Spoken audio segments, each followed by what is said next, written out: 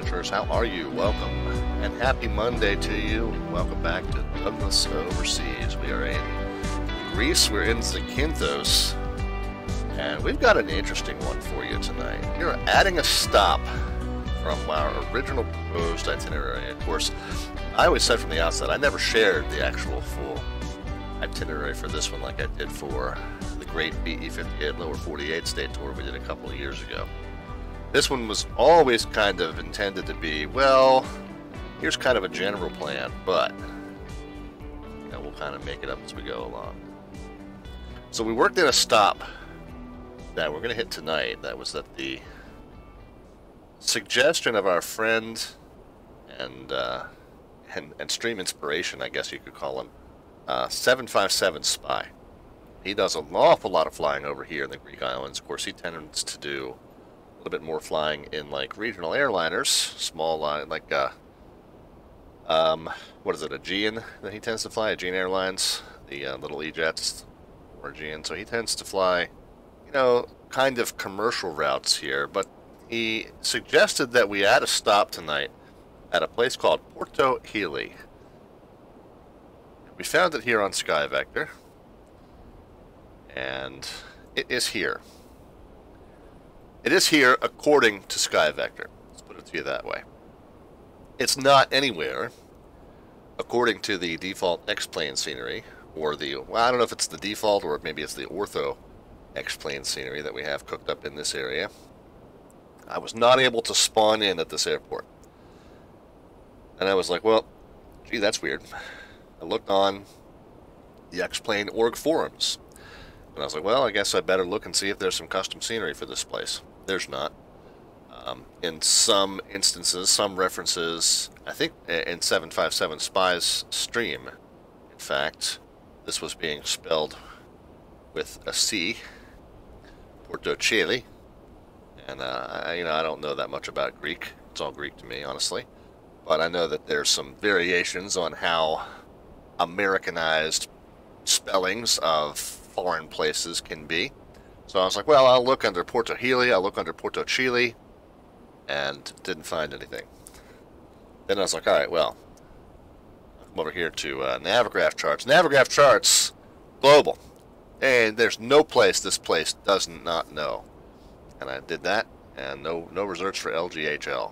LG, LGHL, yeah, that's correct. That's what I got in there. So then I was like, all right, well, how about Heli? And we found uh, heliports and Helio Wasum and Richelieu, Canada, and Mohili, and some more heliports and some some waypoints, but nothing called Porto Heli. And then I did uh, Cheli.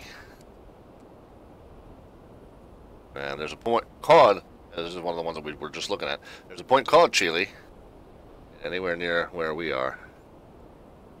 So, I was like, okay. Well, that's interesting. Interesting. Interesting. That's exactly what Mork has just commented. Yes, indeed, Mork. Bombs Away is with us. Dave Rendon is here. Captain Scientist has checked in. So, I did a little more investigating, and let's go back to, let's, oops, oops, oops, That's not what I meant to do. Um, Yeah, that's not what I meant to do. Uh, oh, wait a minute. Sky Vector is what I had up there. That's There we go. put Sky Vector back up there. Um, so that's not what I meant to do. What I meant to do is come back here, and let's just put this back to where we're starting, LG, ZA. And uh, just get that chart up in front of us, because that's where we're starting tonight. Just get that there, okay. Not too much at that airport where we need a diagram, but that's alright. Anyway, where were we? Uh, oh yeah, so I went a little. I went a little exploring. I took the uh, I took the camera, took the map mode, and X-plane. I took the camera and I did some flying around, and I eventually found it. Let me show you the picture that I sent to 757 Spy here just a little bit ago. I was like, "Are you serious? This is where we're going?" And he was like, "Yeah, pretty much. That's where we're going." That is where we're going. We're going to do some Grecian bush strip flying, guys. That is that is what we're looking for. Um, so there's not much of a strip there, and I have no idea. It's not. It's not even in the scenery. So if we crash there, we can't respawn. We have to respawn somewhere else. so we'll do our best. Hopefully everything will go according to plan. Hopefully the, the, the ortho that I have here, I don't know if it's similar to what 757 Spy uses ortho in this region, but hopefully whatever I've got rendered in there is smooth enough that we'll be able to make a uh, make a smooth touchdown. I, it does look like kind of there's this little path that cuts through, and it, it, it kind of tells me it kind of, kind of gives me the impression that there's like a ripple in the runway there. So I think we're gonna I, we're gonna kind of land. We're gonna kind of aim to land in this section. So I think that's what our plan is. Look at the look at how this drops off afterward too. Um, this is gonna be a fun one. And like I said, if we do end up crashing, we're not going to be able to respawn there. Because X-Plane doesn't recognize it as a spawnable location, so... Should be fun. Anyway, the other fun thing that we've got tonight... Uh, sorry, let me just get the show schedule back up over there, because we'll talk about that later. Just kind of re-prep some stuff for the, uh, the latter part of the show. The other fun thing that we've got in store for you tonight is yet another on this first leg, yet another canyon run. We've been doing, we did a canyon run through Sardinia over here. Right, we did this, we did this canyon through Sardinia. Where was it? One of these. Uh, no, it wasn't Sard, uh, this is, uh, this is Corsica. There we are. We did this canyon run through Corsica and then came down, we flew down the west coast of Sardinia. So we did a canyon run there. We did a canyon run through Sicily. We, we flew eastbound from uh, from the airport and then down through this canyon here and uh, across to the south side of the island. So we're going to do our third uh, canyon run of the uh, of the of the Mediterranean portion of the tour here. As we're going to take off from Zakynthos, we'll fly eastbound. I presume this is mainland Greece at this point. This is all part of the mainland. I think there's that little isthmus, is that what that's called? A little, little connecting strip there that makes this all part of mainland Greece that we're about to fly down. Uh, but we're going to fly uh, down this canyon here. Oops, didn't mean to adjust the route. And then uh, as we come around the bottom end of that uh, ridge, make a left, go to the end of the ridge. I tell you what, you go to the end of the. Here's what you do. you go to the end of the ridge. You make a left. You follow water around the other side of the island. Portofino right there. Okay, that's what we're that's what we're gonna do. That's what we're gonna do. Leg two then is a very straight ocean shot. We'll have to figure out. We may end up doing some dead reckoning. We may end up doing some position references off of these VORs just to kind of keep track of our progress across the open water here. I think we'll be in range of those. So I think we should be fine as far as uh, being able to ascertain our position with certainty rather than just, you know, point and guess. So we should be good. Uh, but that'll be leg two, and uh, we, have demonstrated on the stream uh, numerous times how we can get position references off of VORs that we are not necessarily tracking toward or away from, that we're not tracking radials or airways from, but we can still use them as uh, as point references. And we'll show you again, uh, guys again how to do that if you're new to the stream. Might learn a new technique tonight on leg two. But leg one's going to be mostly visually flown. We might uh, might pull up this NDB uh, just as a reference to our entry point. Wouldn't be a bad idea probably. And then make sure we're going due east from there. But uh, other than that, we're going to navigate this canyon visually, come out the bottom end of the ridge, and then uh, up and around. And hopefully we'll find Portoheli to to be smooth enough to land without hurting the airplane. We'll see, and of course that's always contingent upon my bush landing technique, which is not very good in any plane, but it's not going to be great in Douglas DC-3. So we'll uh, we'll see how it goes. Any questions? No? All right, let's pile in. Now the door's open. You guys can go ahead and pile into the aircraft while I go ahead and get into the cockpit here, start powering up the plane, get ready to go. Yeah, it's a bushy DC-3. Well, Northwest Orient will be proud. He does a lot of that bush flying in that uh, DC-3 when we, when we do those bush trips. He's darn good at it, and I am not. so we'll see. Hopefully some of his his uh, skills will osmosis their way over to me, over the internet here between now and the next, uh, oh, say, hour and one minute from now. Alright, we have our fuel load set. We've got, uh, we can, we can go ahead and get our master battery switch on. Uh, the one thing I didn't do, and I will do right quick, um, just run all the controls through their ranges, make sure that everything is detecting range. I'm going to pop the parking brake back on, move the uh, yoke around, make sure the full range of uh, movement is detected. Of course, you can't see the yokes moving, but sometimes just pushing it through its full range helps to uh, make sure it's detecting its uh, its full left and full right motion there. Um, so master batteries on. Let's get the no smoking and nav lights on, and that way, you know, you guys can start making your way in. And oh, and the beacon light as well, since we are about to fire an engine up. Get the fuel tanks set to the mains, the left main here and the right main here. And we'll show you a technique later on for um, for rebalancing in a cross configuration that will prevent me from draining the, the one side of the plane. Sometimes it works and sometimes it doesn't. Cowls can go open. That's those two white sink handles over there to the right of the first officer's seat. And they are now open. We'll get the prop lever forward. Get the uh, throttle crack just a touch. And we'll start with the engine number two. Engine number two is also kind of our APU. We don't have an APU in a Douglas DC-3. Is that that's that's emergency rich there? So there's auto rich there. Uh, so mix magnetos, fuel pump, prime it up, clear it, and start it. Yeah, no smoking on the DC-3 since about 2,000 bombs away. Uh, these are 1939 vintage, or 19 yeah mid 1930s vintage, but we're flying them in uh, flying them in the modern time, my bud. Uh, we will we will uh, we'll toss you out over the water if you if you want to smoke. I've done that before. uh, we got the oil pressure that came up right away, presumably. It's up now at least. Uh, fuel pressure still artificially elevated because we've still got that electric pump going. Uh, but we'll pop that down, get the generator on. Fuel pump now, uh, fuel pressure now pointing us straight up, which is kind of its normal reading there, so we're good to go. Um, so we've got our got a good start on number two. We've got electrical power flowing through the aircraft now. And uh, our flight plan has already been sent, and our progress bar at the top of your screen is already updated. Uh, the straight line mileage is 100 and I can't remember what it said, 111.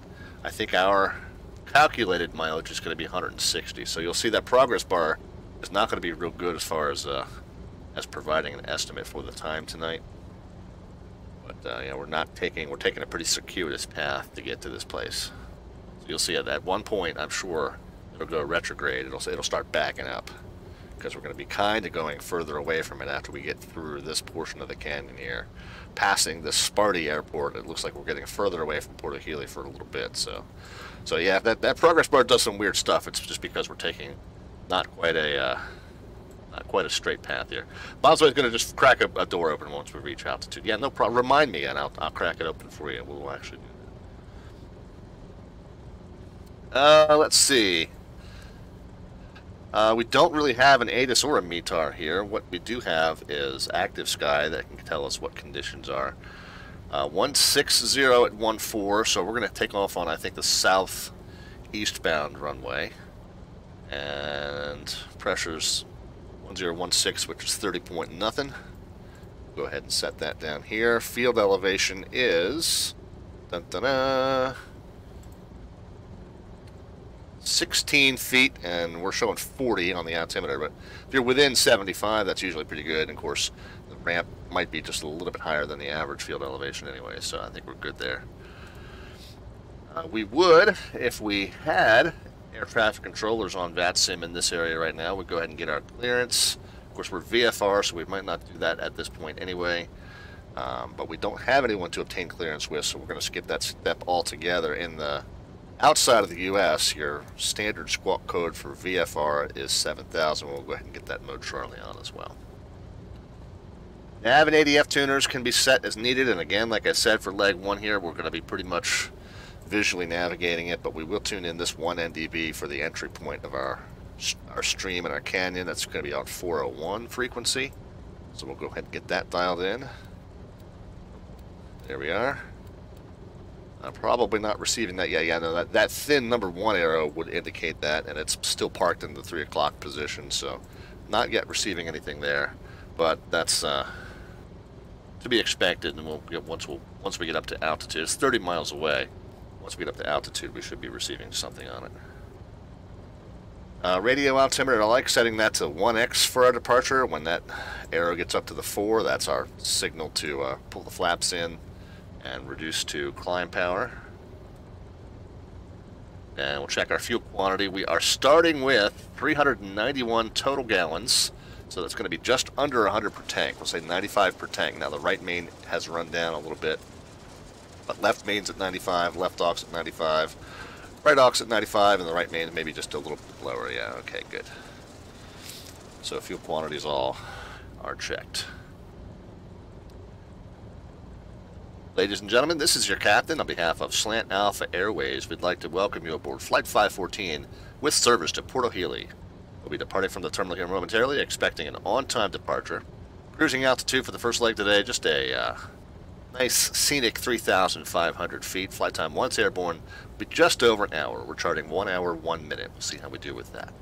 So buckle in and relax. We'll be underway soon. Thank you again for flying Slant Alpha Airways. Are You guys all in? Let's go. Doors closing. Anybody not in the airplane, you're going to be swimming. Get the seatbelt lights on. Uh, where did I lose my lost my spot here? Oh yeah, we're going to go ahead and get the number one fired up now. So that's mix, magnetos, fuel pump, prime it, clear it, and fire away. There we go. Two Pratt and Whitney twin wasps roaring in your ears. Gotta love the sound of history, gentlemen. Uh, we got the oil pressure is up. Let's go ahead and get the fuel pump off, generator on. The engine now has its own fuel pump that should be supplying fuel, and it does appear to be. Fuel pressure is reading normally.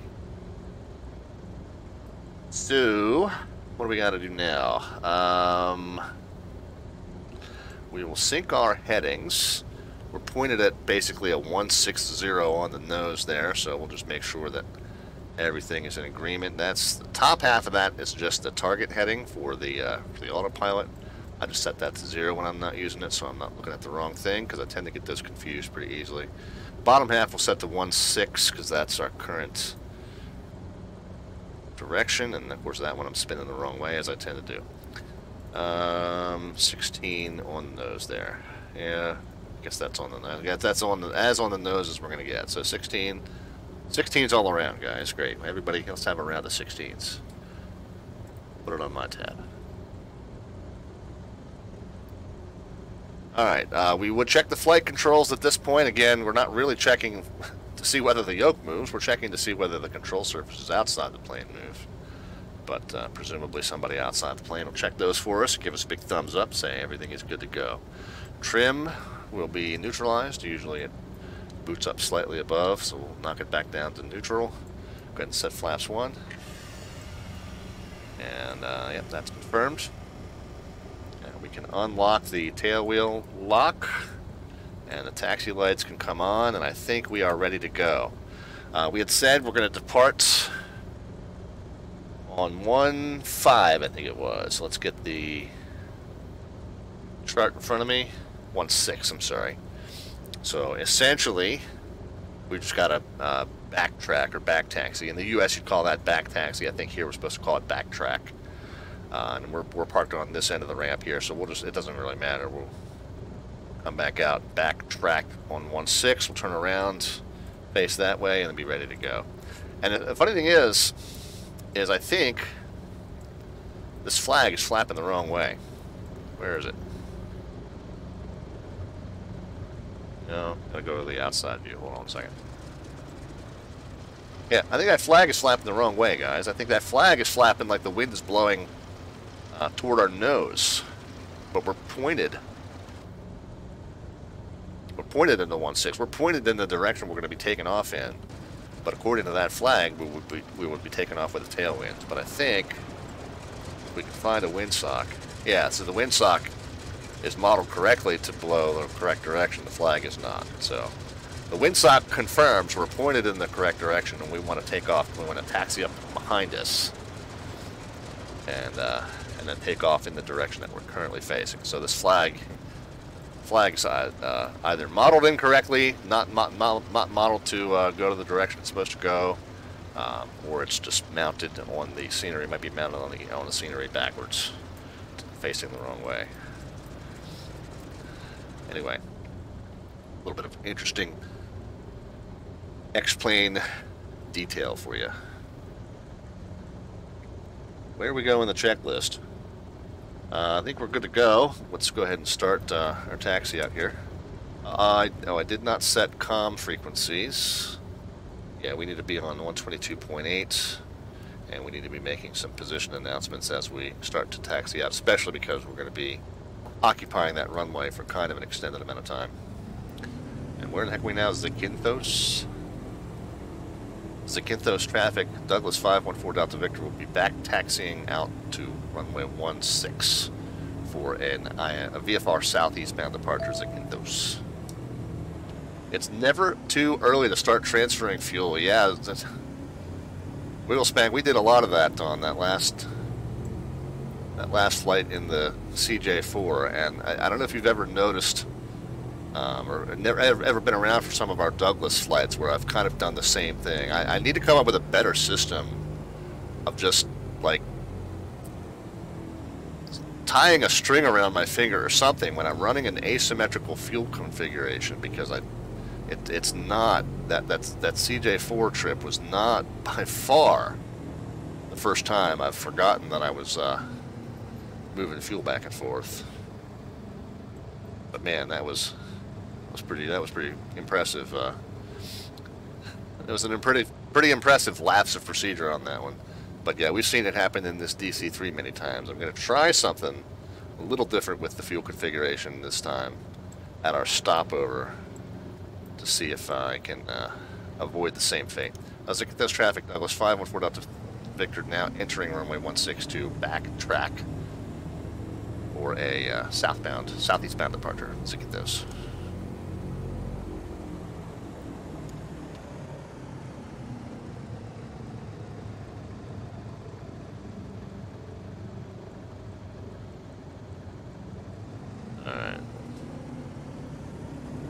So entering the runway, actually, the anti-collision light should have come on. Uh, landing lights kind of more for when you get takeoff clearance, but we'll go ahead and pop it on now. Pitot heat and fuel pumps can now come on. Cowls can go into trail. Hydro pressure is checked, and those are the white gauges there just to the left of the cow flap levers. Everything's looking good. Flight attendants, prepare cabin for departure.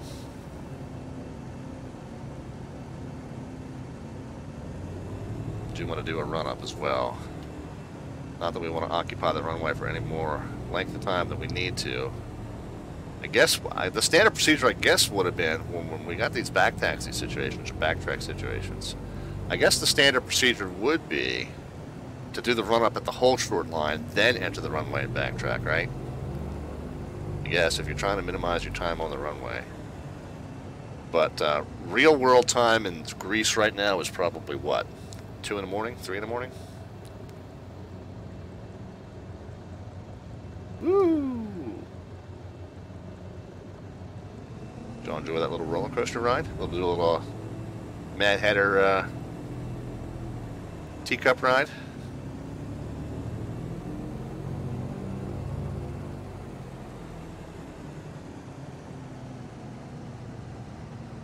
Uh, that's no space station, Mork. That's a moon. Alright, so we will hold the brakes. We'll run the manifold pressure up to 30. We're going to flex the prop lever up and down three times. Once. Twice. And three times. Yeah, no, no more. No, yeah, yeah I always, always pretty much simulate pretend daytime no matter what. We'll do the right magneto down one. You'll hear the engine will go slightly out of sync there. You hear the wobble of the uh, dissonance there. We'll go down another notch. Okay, we'll go back up. So the magnet, each of the engines runs on a redundant set of magnetos, which is essentially like, uh, kind of like your distributor sends the electrical charges to the engine. And when you switch down to one set, just the left or the right, sometimes there's a little drop in the RPMs. But as long as the engine doesn't sputter and die, you know, your magnetos are all working. Nice to have a redundant set just in case you have one failing. Yeah, yeah, no. Moon joke. And I did the Star Wars reference there for you too, Mark. So there we go. We're all, we're all caught up. All right. Tail wheel can go locked. And I think we are ready. Zakynthos traffic Douglas 514 Delta Victor now departing runway 16. VFR southeastbound Zakynthos. All right, brakes are off. Let's set manifold pressure 45. There she is. This is a flaps 1 departure, which is not typical for a runway of this length, but I kind of just prefer the way the plane handles on a flaps 1, so I do it for all situations, more or less. So just note that that is not textbook. I, I am not a real world pilot, but I do try to point out when I'm bending real world procedure. Sometimes it's intentional, other times not. Gear coming up.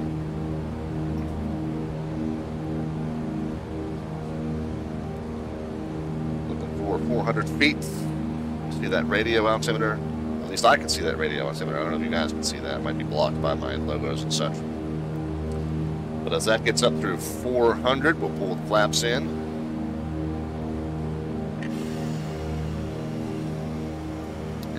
Uh, give it a little bit of up trim.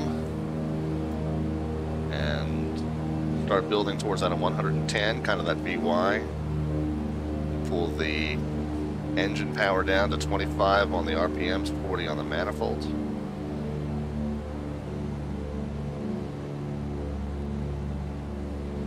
There we are. We can get the fuel pumps off. Take note of our time was uh, more or less. I mean, so we're a couple minutes after. I said 8:30. A couple minutes after, but we're good there pretty much. And uh, navigation plan has us going on about a 101. So we'll make a uh, make a left kind of 45 turn out here. Zakynthos traffic Douglas 514 Delta Victor is clear runway 16 on a left 45 VFR southeastbound departure. Zakynthos last call.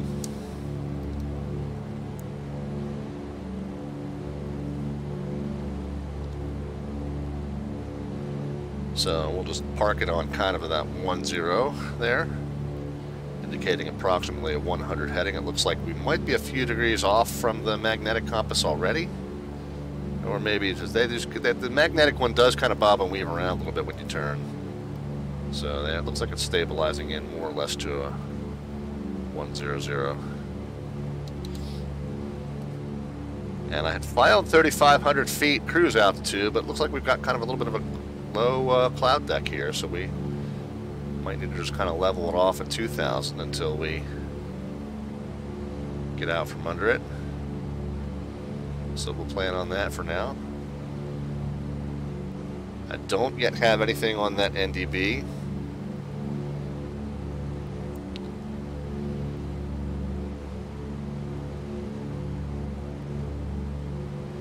But I'm not going to panic about it yet because I know we, we can kind of still see land here. I'm not too upset about the navigation plan. I think we'll be fine. Oops, overshot 2,000. Yeah, we're, we're kind of flirting with getting into the clouds there, so let me get it back down to 2,000. Pull the... Pull the power down. 23 on the RPMs, 34 on the manifold. Kind of like to use those as my cruise settings, 23 and 34 manifold pressure always dips after I let go of it. So, get it set there. Looks like we still got to down trim a little bit. As we come up to cruise speed, you're going to add more and more down trim because the plane's going to want to uh, want to put itself back into a climb when it picks up speed.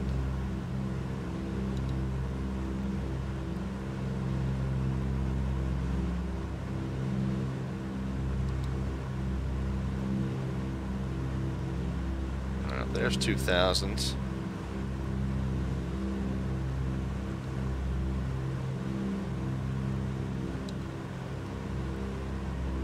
I think we might even let auto have it here for a little bit. But if I do that, that means I got to spin the target heading around to a uh, 100. now I've got it into a consistent uh, slight descent.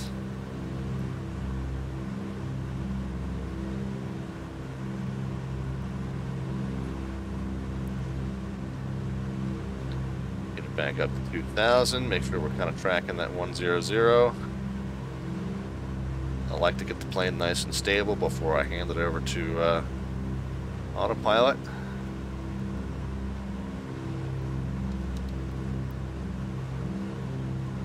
To the best of my limited abilities, abilities that is.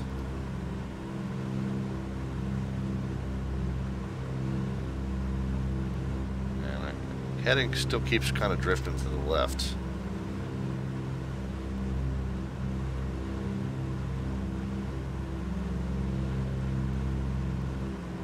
So, there we go. Alright, so that's a little bit more on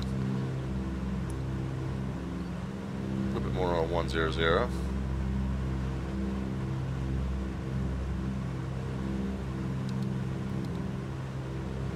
Still about 60 feet low.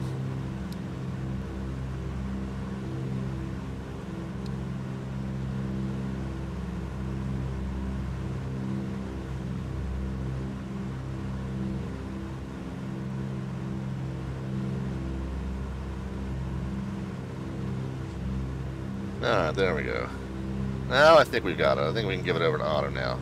Autopilot on, level, and heading. And I think we can go ahead and get the cowls closed, or mostly, oops, that's open, mostly closed, I guess. We know in this plane we have to run them slightly open just because the uh, cylinder head temps will run away if you run the cowls closed like you should. And we can pop these into auto lean, if I can just find the, yeah, there we go, the spot that they kind of click into there, there we go. And what else so we got a 100 heading, we got 2,000 feet for now while we're ducking under the cloud deck. We got the yeah, manifold pressure still dropping there, so we'll bump it back up to where it's 34.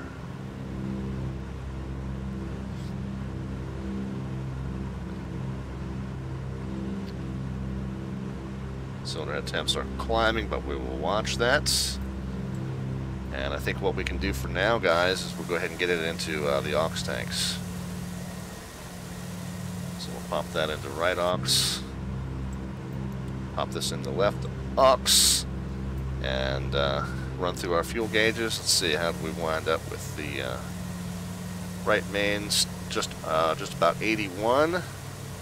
Left is about 85, so there's about a four gallon differential there. I'm not going to worry about it because every time I do, like I said, I tend to forget that I'm worried about it, and then I transfer all the, all the fuel from one side to the other and make it worse than it was. Four gallons, we'll live with it. And we got just under 100 in uh, the aux tanks, so we'll leave that gauge in aux for now so we can kind of keep tabs. There she is, guys. The AeroWorks Douglas DC-3 with our custom Slant Alpha Adventures livery. Thank you to our friend and aforementioned Northwest Orient. And that's my grandfather's name up under the nose cone there, up under the captain's uh, captain's and first officer's window. He did not fly DC-3s, but he did fly in uh, World War II. He did fly Hellcats, Wildcats, and Corsairs. Now, check this out, guys. We are not still receiving this NDB on 401. However, we are crossing this little peninsula here. So visually, I think we are on the right track. Navigationally, uh, things are not going according to plan just yet.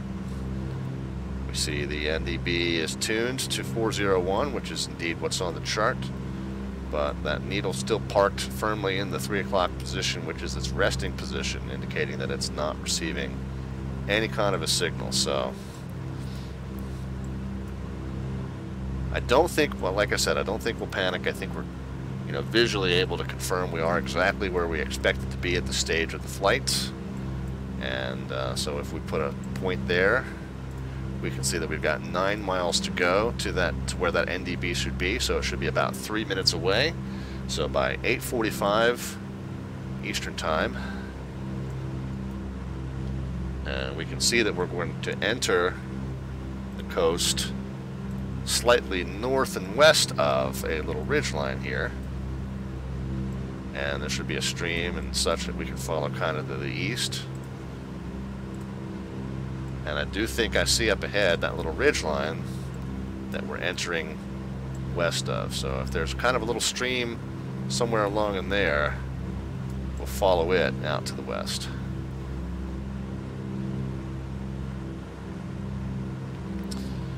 So I'm a little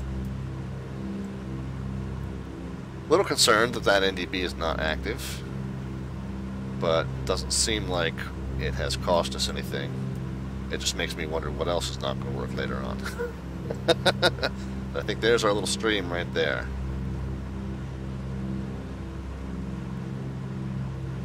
It does, in fact, I mean, if you look at it on the map here, does in fact, if we, comes it off the coast and curls back toward us, and then goes off to the east. So I think that is indeed the precise one we are supposed to be looking at.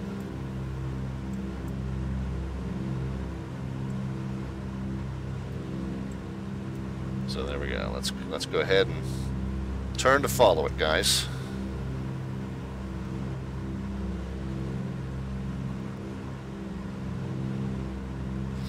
And the cloud deck's still kind of hovering just above us. Yeah, well.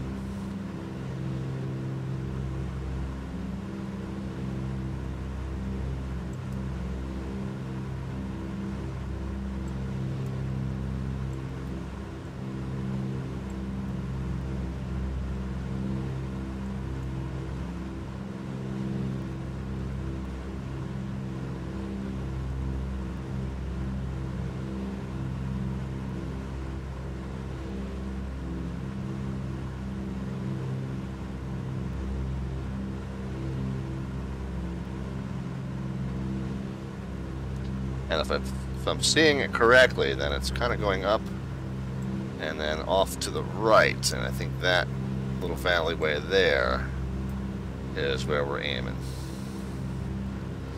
Right? It comes in and it kind of goes back to the right. Yep. Yep, that's what I'm seeing.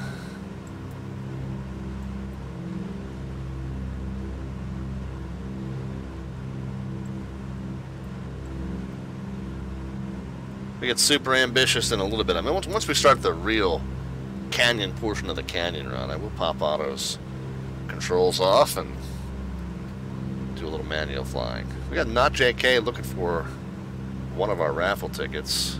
Uh, did you bring your telescope? I always bring my downwind sim binoculars. Captain Scientist. There we go.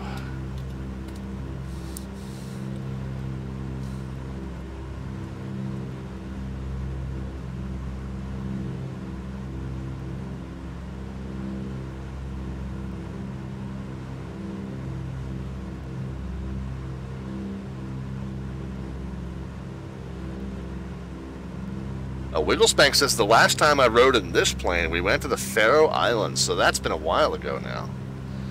How long ago was that? So Faroe Islands was August 24th. That was leg number 8. We are currently on leg number 30 of this tour. So Wigglespank hasn't joined us for one of our Douglas overseas trips in a little bit.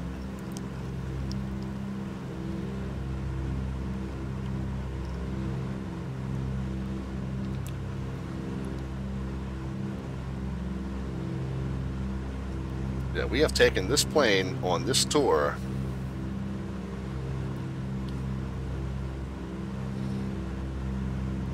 Forty-five hundred miles since then.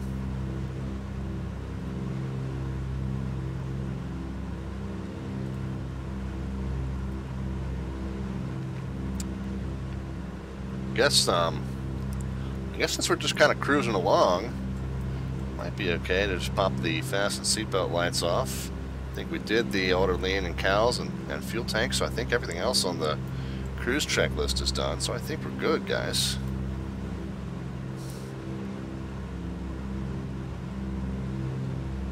Gonna have to try to land on that crazy runway. Which one was that? The, the Faroe Islands one, Wigglespank, or the, the one we're doing tonight?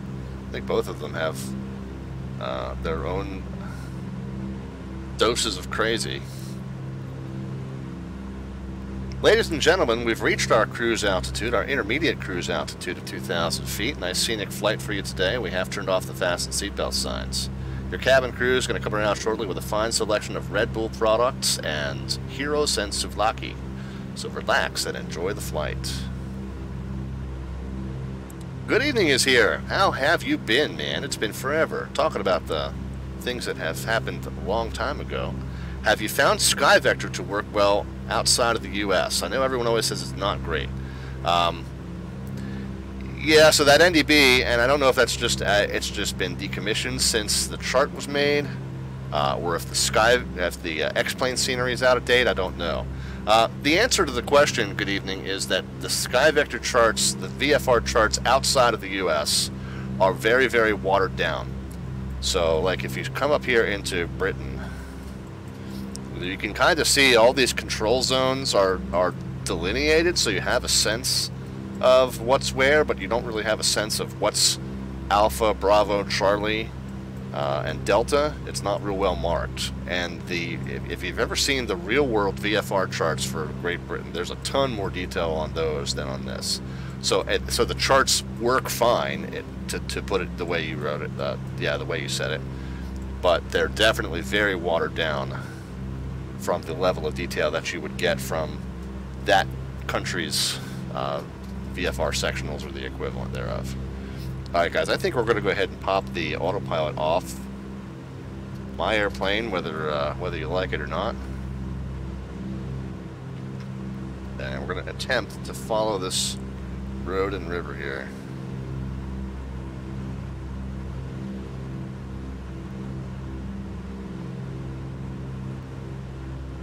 And the only reason I think it might get dicey is because we do have kind of a low cloud deck to uh, contend with. And Good Evening says, yeah, some examples of European VFR charts, they're very complicated compared to the US, and there's lots of specific approach directions. Yes, VFR flight in general outside of the US is nowhere near as, uh, as free and open as it is in the US. It's much more restricted. And uh, the SkyVector sectionals, VFR sectionals, like I said, and, and it's because it's because the sectionals in the U.S. are public. Um, they're you know, publicly freely available. Outside of the U.S., the various um, aviation authorities typically charge for those charts. So SkyVector can't just publish them for free, right? It violates the, the license agreement when you buy the chart. Can't just can't just let everybody have it for free. So SkyVector's kind of has their hands tied, but you know what they've done is is just produce a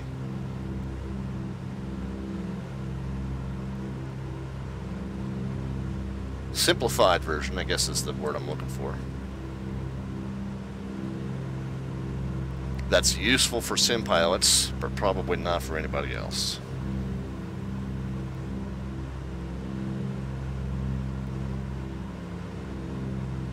Think we're still following our little river here. We're kind of uh,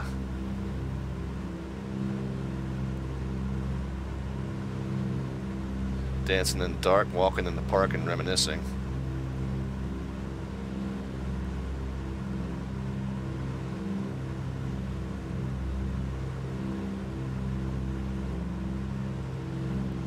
about a 100 heading now, so where does that put us? Yeah, I've got a... So it looks like yeah, 100 and then kind of a 133 once we get down into that valley. So where's the, which is that valley?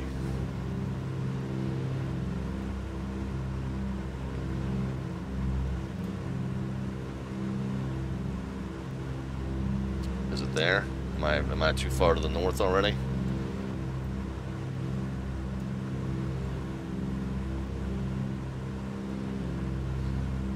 Well, I'll tell you what. If I'm too far to the north, it doesn't matter, because I'm going to shunt over to the west and pick up that ridge and follow it down to the south, and we'll end up where we intended to be either way. But boy, the uh, clouds are kind of creeping down on us guys, aren't they?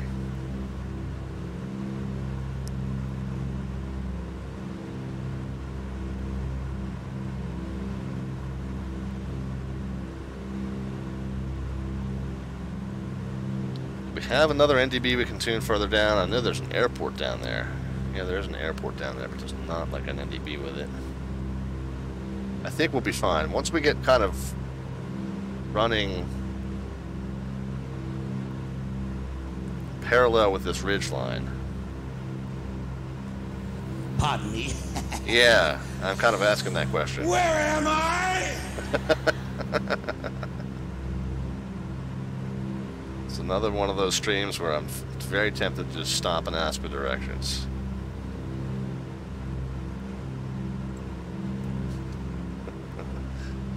so I don't know that I took the path that I charted out here. Actually, if I'd gone down that other valley, it might have been a dead end. Might have been this dead end here. Might have been that dead end. Uh, I think I maybe took way kind of more of a northerly path here, but I think I am. I think I am where I intended to be. Dave. Dave wants me to fire up the GTN. I will not do that, sir. I would rather be lost. But we did say, I mean, if we if we go by the, the legs that I plotted here informally, you know, we did say that this part...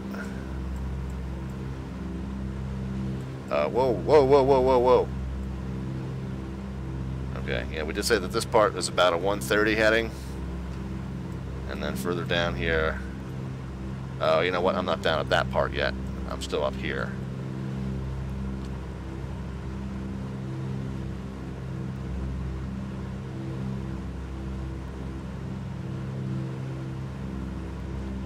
Uh, what I gotta hope that I'm not is...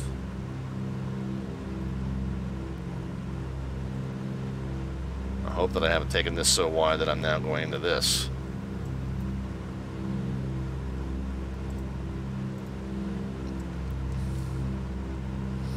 Kind of feel like that it might be what I'm doing.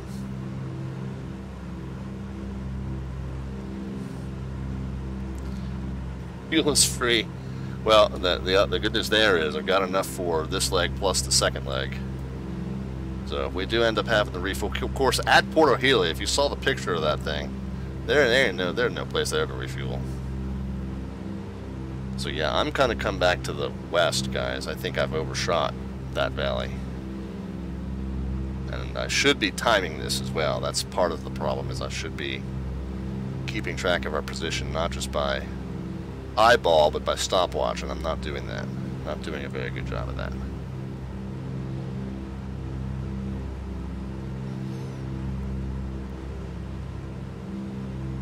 So I think there's the valley that I meant to go down. So we'll give that a give that one a whirl.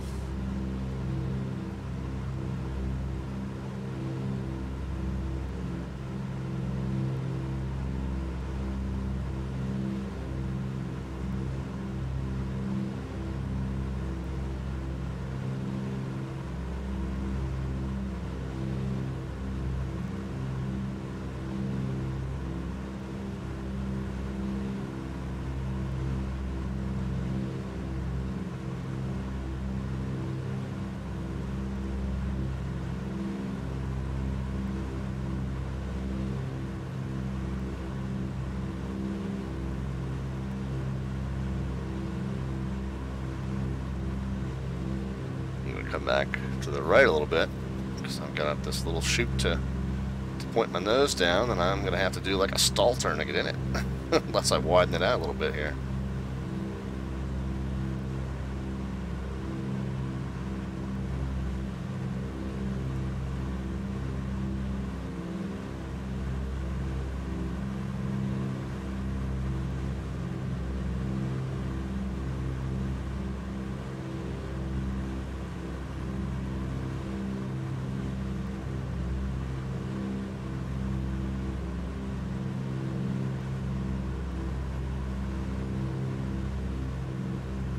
Swamp Donkey is with us? Yeah, exactly. That's what exactly we're uh, flying today.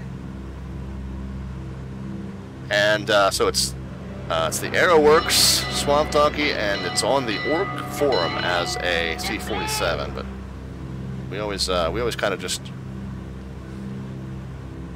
colloquially refer to it here as a DC-3. Not much difference of note except for the passenger cabin. So yeah, we always we always just kind of presume that it's a DC-3. Let me let me let me make sure that I'm not going to hit a rock up ahead here.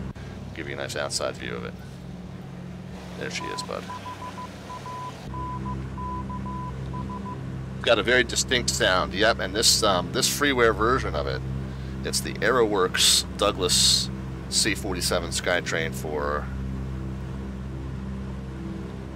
X-Plane 11, and it's got a beautiful sound pack. Um, I want to be going on about a 130, so I guess I've got to take this left here. yeah, I've...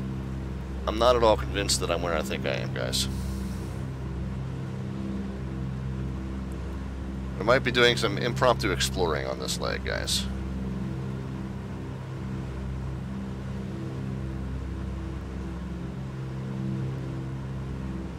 Yep, yeah, we're in X-Plane tonight. I do. I fly a mix of X-Plane and Microsoft Flight Sim 2020 on the channel. And I, and I don't always flip the category because uh, it's it's it's pretty interchangeable here on this stream which one I'll be flying.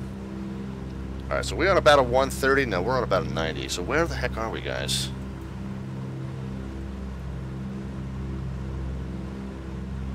Am I lost up in these canyons up here?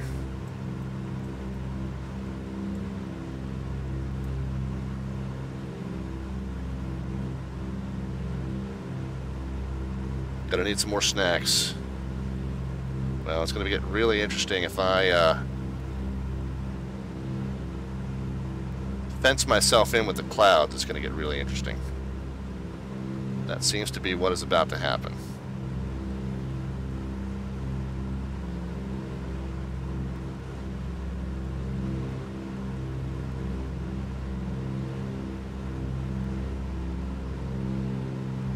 Yeah.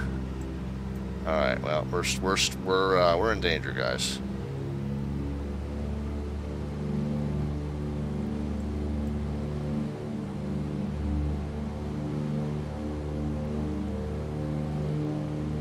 Yep, this is how VMC pilots, this is how, yeah, the VFR pilots kill themselves.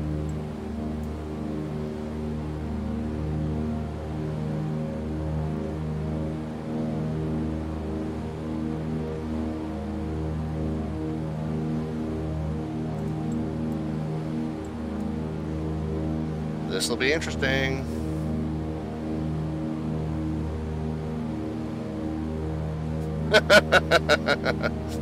oh boy.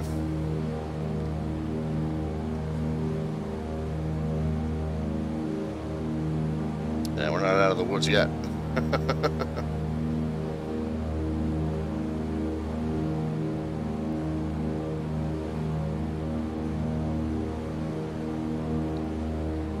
yep.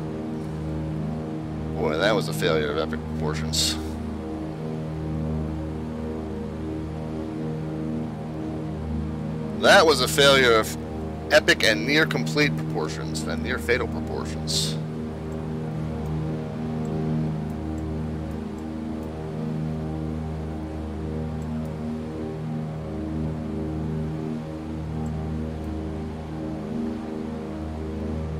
It will be very interesting later on to look at the ground track figure out where I where I strayed from my uh, intended path here.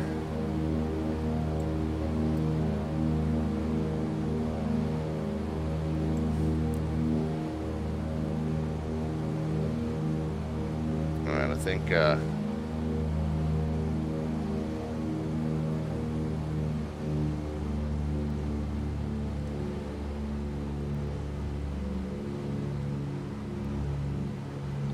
I, think I kind of know what I did.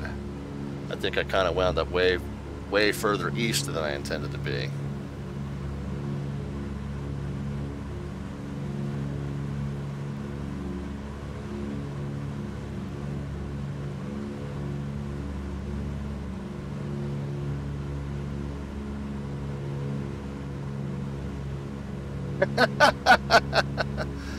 Colonel Fork says, you did a good job saving it. No, I got lucky saving it.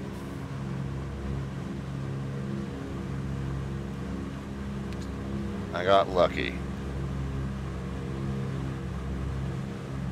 Let's let's let's call a spade a spade. Sometimes better to be lucky than good. At least you're not part of an aluminum trail. Nope, not so far. We've we're show ain't over yet.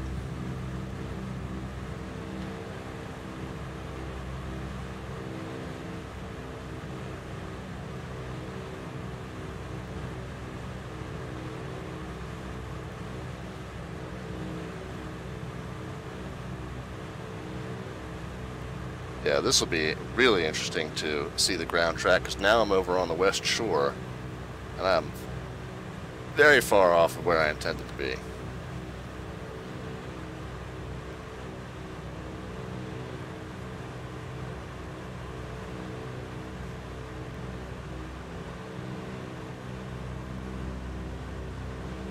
So we might do that, guys. We might, once I get it back to where I'm uh, kind of stable and safe, we'll, we'll, we'll kind of skirt the coast down. Yeah, I can see it from the map where I am now.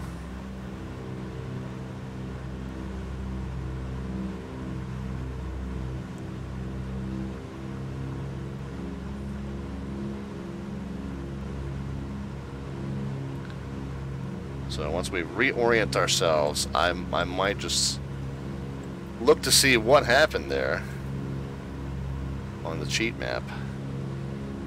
You know, again, I don't like using the cheat map to find myself, but now that I've found myself, I don't mind looking at it just to see what went wrong.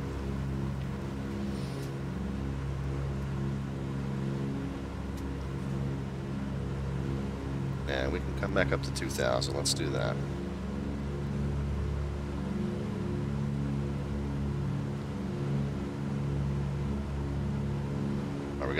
Do 2,000? We might not even be able to do 2,000.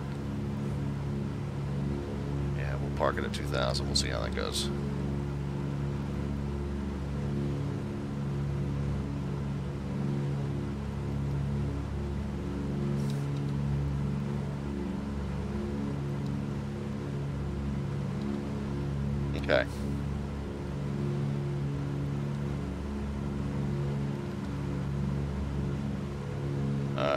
33 and 34. Let's restabilize it. We'll hand the controls back to auto. Am, uh,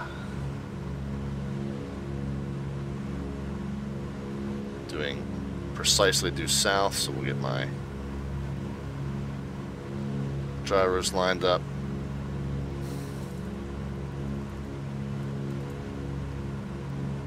Alright, there we are. We're level at 2000. Autopilot on, level, and heading mode.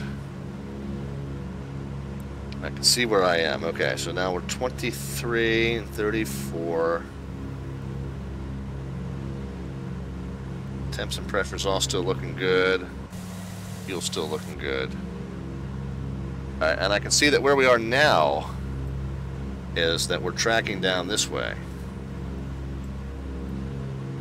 Tracking down this way, and I'm either going to cut in on that side or I'll just follow the coast and cut in that side and, and just way well, around that. But the question is, where did I go wrong up here? Let's let's take a look. Hmm.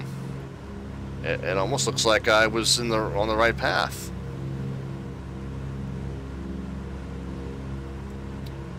Yeah, I was on the right path. I just didn't realize how much the elevation was going to change there but I think the cloud cover was going to make it prohibitive anyway, so.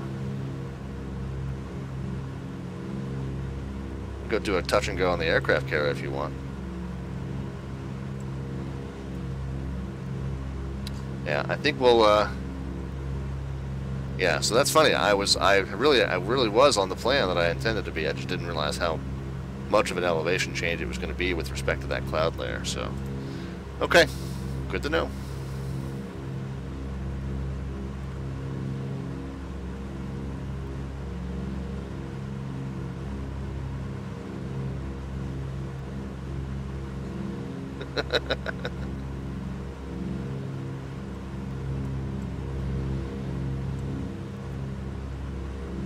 So at this point we're going coming around the south side of the mountain.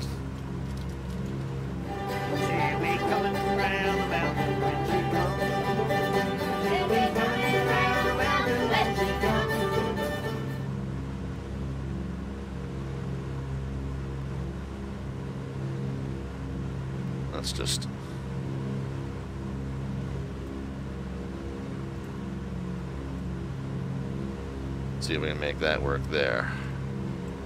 Kind of cut through there. Give it a shot.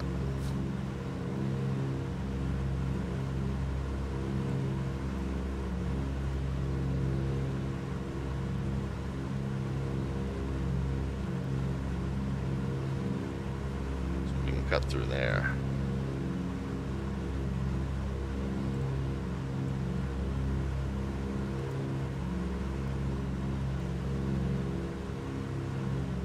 So at the bottom end of that, we want to turn to about a 101. Well, is that where we are?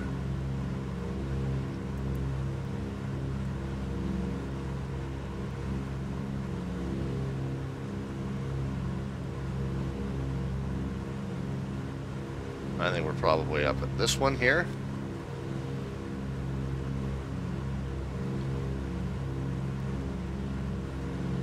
That point altogether. Just go straight on a uh, 120.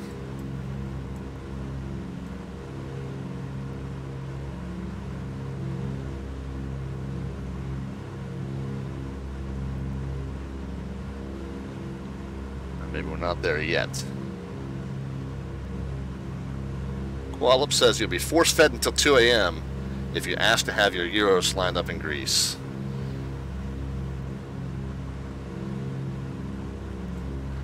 I'm not 100% sure I'm catching the reference there. Koalip, is it because of the way I'm saying it? Probably.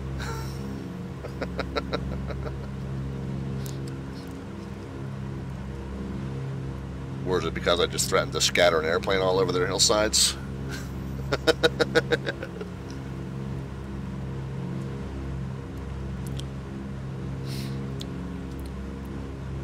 Part of what led me to do this tour in the first place was because I'm like very, very American. So I figured it'd be a good opportunity to get myself out into some different places. And of course, I've always said that, like my my impeccable pronunciation of Hawaiian and Alaskan place names is often on display on this channel. So we're about at 150 now. Go down the ridge here. Yeah, okay, so I see where I am now. I'm not quite as as far south. We're kind of uh, kind of here right now.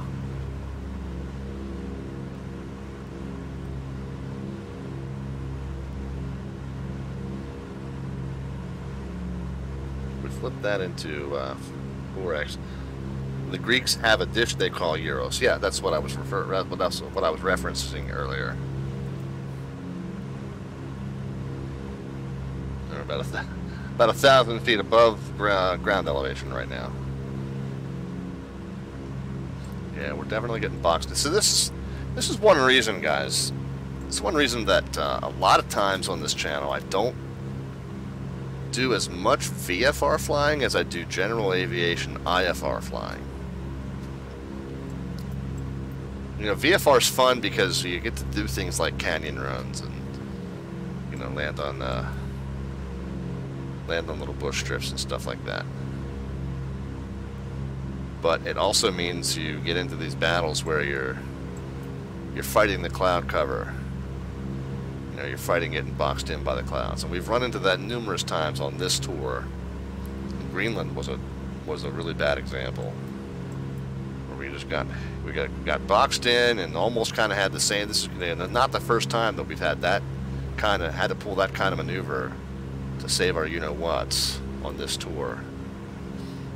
And uh, so if I'd gone IFR, well, first of all, Porto Heli doesn't really even have any kind of nav aids associated with it, like we said at the beginning of the stream. It is like barely a place.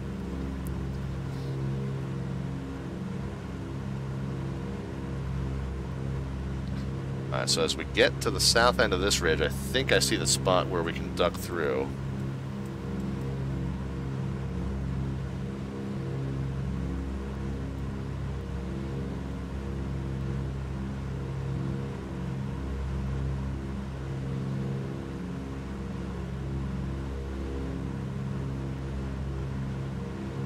Yeah, that was uh. That was our in-flight meal today. It was Yerlis and souvlaki.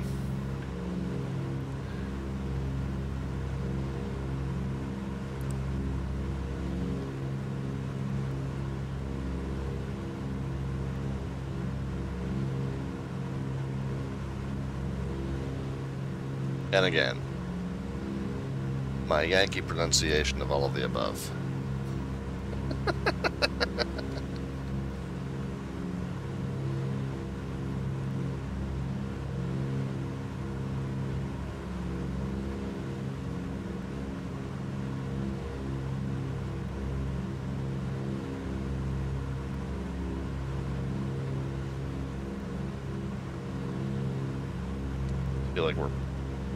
kind of skimming the ground as we go over here, but the cloud cover's not giving us much choice. What is our altitude? Less than a thousand. What is it over this ridge? Less than 500? Maybe.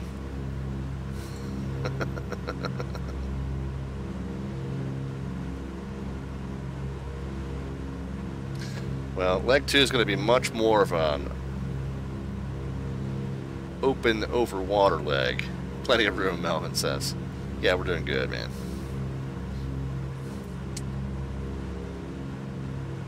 Oh, who wanted to, uh, who wanted to crack the door and take a smoke real quick? You guys can, uh, go ahead and do that.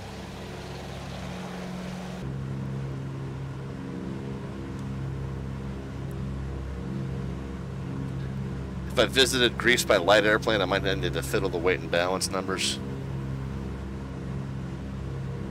Alright, I think we are clear now of this little sub-ridge and should be heading kind of on a 120.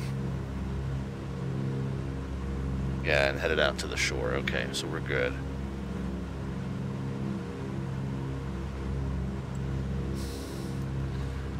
Aside from skimming the treetops, we're good. Alright, that's all that's all the smoking we're doing.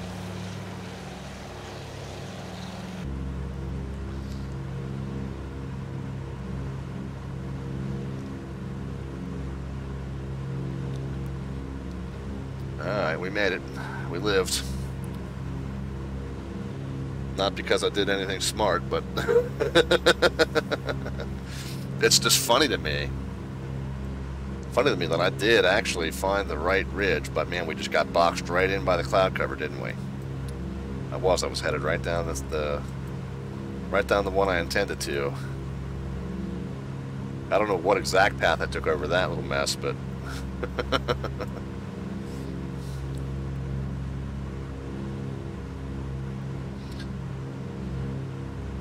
Alright, so once we clear the shoreline here, let's plot a point there.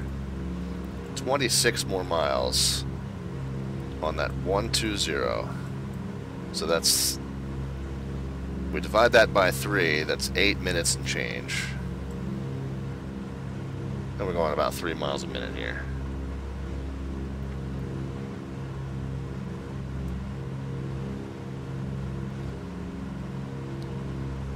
And so not only does SkyVector say we should be on a 120 heading, but if we're looking for like a, a low spot in the ridges ahead, it does kind of look like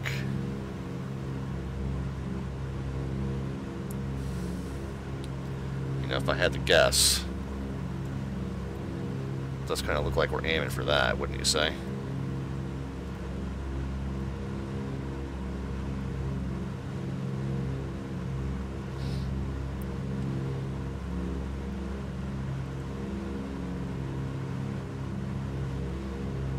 I guess the only solace I can take at the end of the night, no matter what happens, the only solace I can take is that whatever, regardless of the outcome, this is all 757 Spy's fault.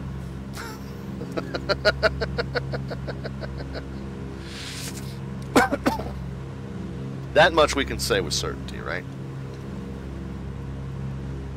You're joining late. We're doing this tour that we call Douglas Overseas. We're getting a nice uh, opportunity since we got nice open water ahead of us here to get a little bit of a better shot of the airplane. For those of you who aren't familiar with the stream and aren't familiar with the plane, it's the AeroWorx Douglas DC-3 for X-Plane 11. Yes, we are in X-Plane 11 tonight. So I do interchangeably fly Microsoft Flight Sim 2020 and X-Plane 11 on this stream, and I, I don't always change the category, so apologies for that. But we do have Ortho 4XP scenery in, installed throughout the region here. So it is nice photorealistic scenery. It is uh, not quite as 3D digitally rendered as Microsoft Flight Sim 2020, but it's darn close, especially from altitude. It almost looks as good. But this is X-Plane 11. We don't know of a, of a quality DC-3 available for Microsoft Flight Sim 2020 just yet, although we know that uh, the developer group called Aeroplane Heaven is working on one. Working on one, in fact, that looks very, very much like this one as far as the interior goes. Our water, water just goes smooth. Our water texture just disappeared. Did you guys see that? Kind of bizarre.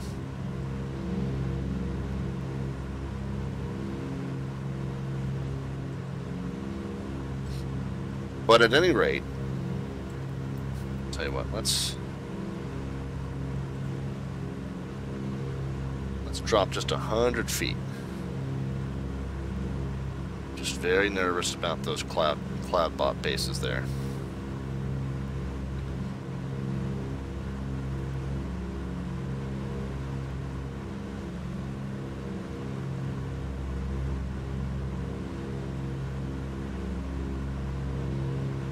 But at any rate, so Aeroplane Heaven is working on a DC-3 that looks extremely similar to, similar to this one.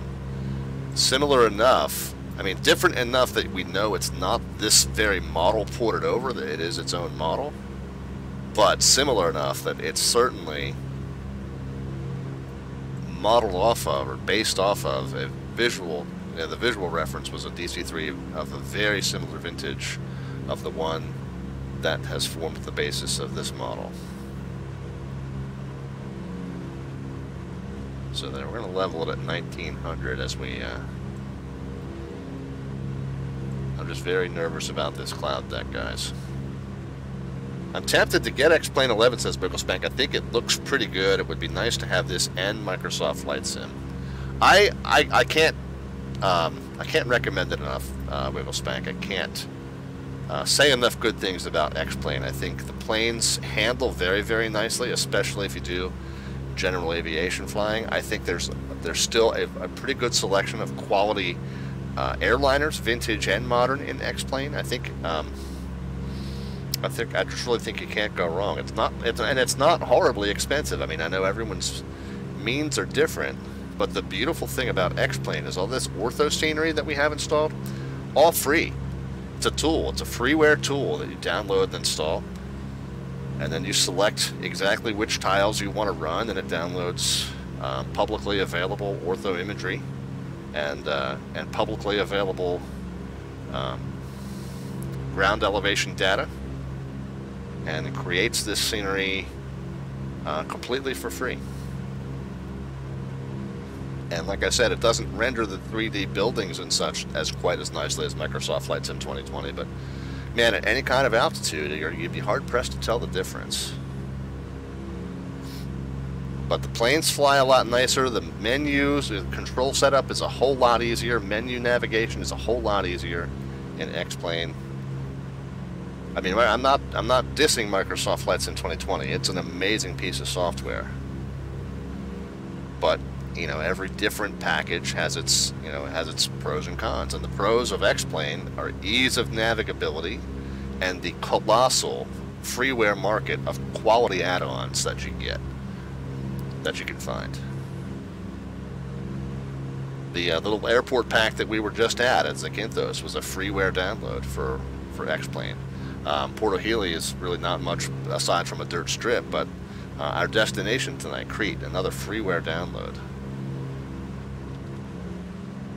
So there's a, there's just a ton of quality freeware out there for X-Plane 11, and that's to me that's the turning point. I mean that's what makes the value exponential for for what you pay for it, which like I said is a pretty reasonable price to begin with. But Uh, this plane, this plane is freeware. This is the AeroWorx A E R O W O R X, and uh, pretty pretty fully modeled. I mean, there's a couple little tweaks. Uh, one little tweak that I made with the help of a friend um, to the tailwheel lock.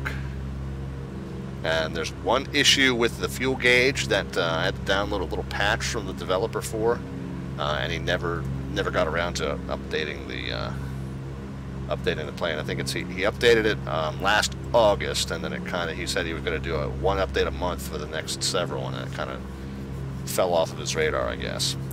You know, again, that's what you put up with when you're looking at freeware. You're, you're not uh, you're you're you're resting on someone's free time and uh, free time that they may or may not continue to have. So, so I'm not going to begrudge it at all. It's it's it's darn near fully functional. I mean, it, it's not. Everyone has the kind of their own definition of study level, right? It's it doesn't really model failures. Can so, to some extent. I mean, X-Plane 11 has its own, you know, native failure model, failure engine. You can do some of that stuff. Just uh, eyeballing this, the headings, you know, the, the, direction, the, the uh, magnetic compass says we're on a 125.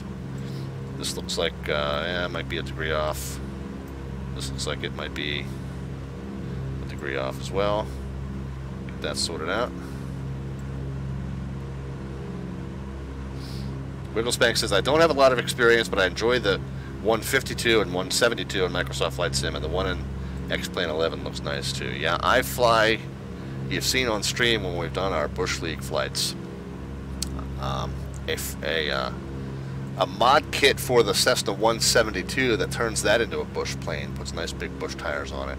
And in fact, that comes with both a trike and a tail dragger variant, which of course I typically fly the tail dragger because it's a little bit more challenging. that too is a freeware mod. So much good freeware stuff for this sim can't, uh, I mean, it's, it's nearly endless. Alright, if I can't find the gap in this hill hillside here, you know, we will just kind of go down and around. I feel like I'm still kind of looking right at it. But again, the, the clouds are making me nervous.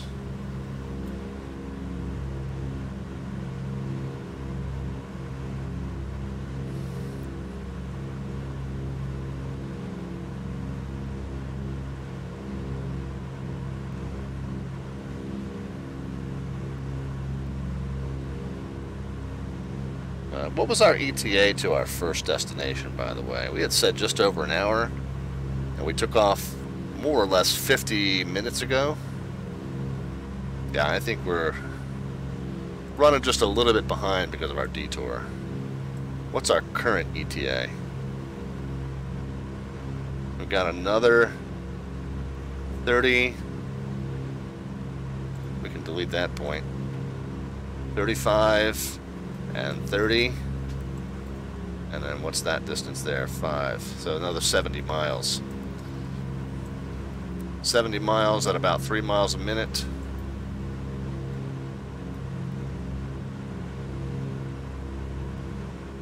Thirty-three, right? No. Twenty-three. Twenty-three minutes.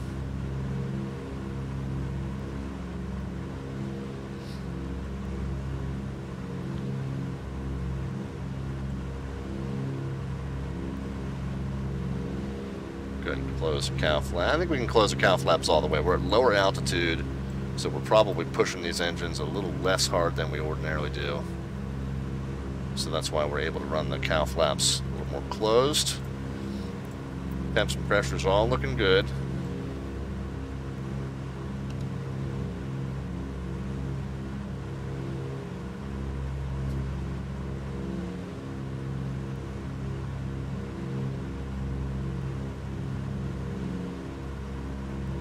does look like maybe we could climb a little bit here.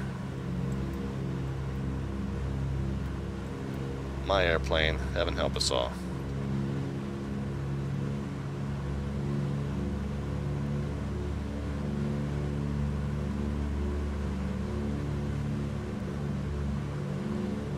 God, I think this is definitely our our gap coming up. Yeah, well, man, it's almost a cut through, almost a complete cut through.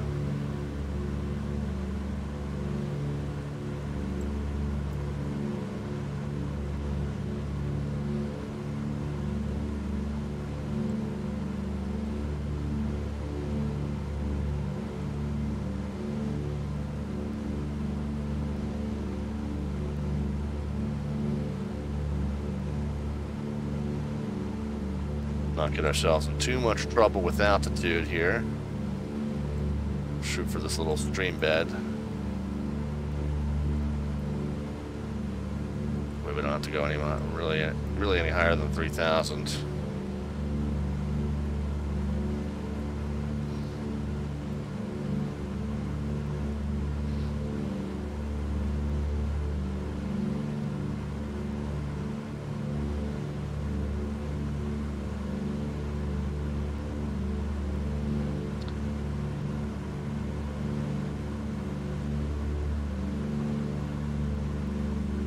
Yeah, so Wigglespank, I think there's just a there's two different philosophies when it comes to the two the two pieces of software. And, and this is my generalization. This isn't you know, this isn't based on any official documentation or or uh, or what have you. I, I, so this this is my opinion. But I think you'll find there's a prevailing sense what I'm about to say is, is probably going to be hard to dispute. X-Plane 11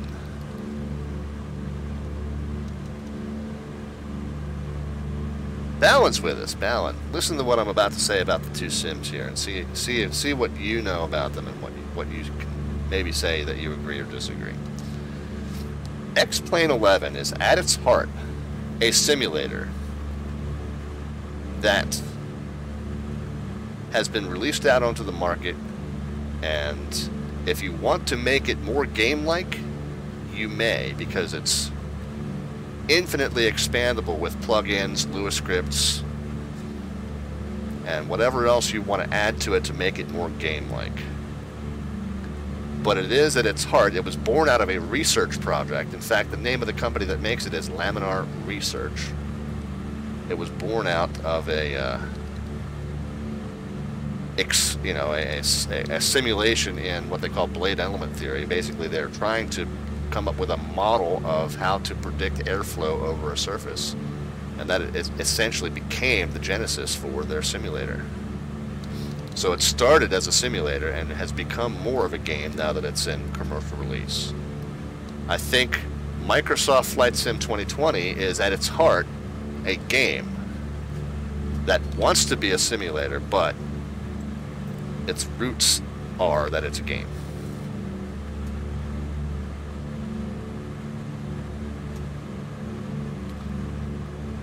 Uh, I'm not sure what the thing is trying to do with altitude.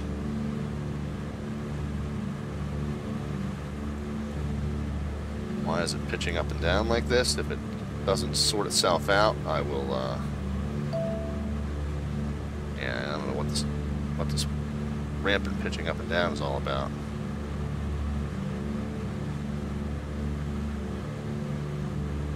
Alright, my airplane again, guys.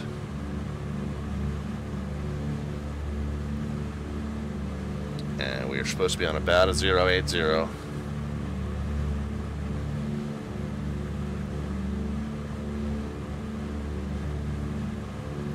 So Microsoft Flight Sim 2020 has those features like the logbook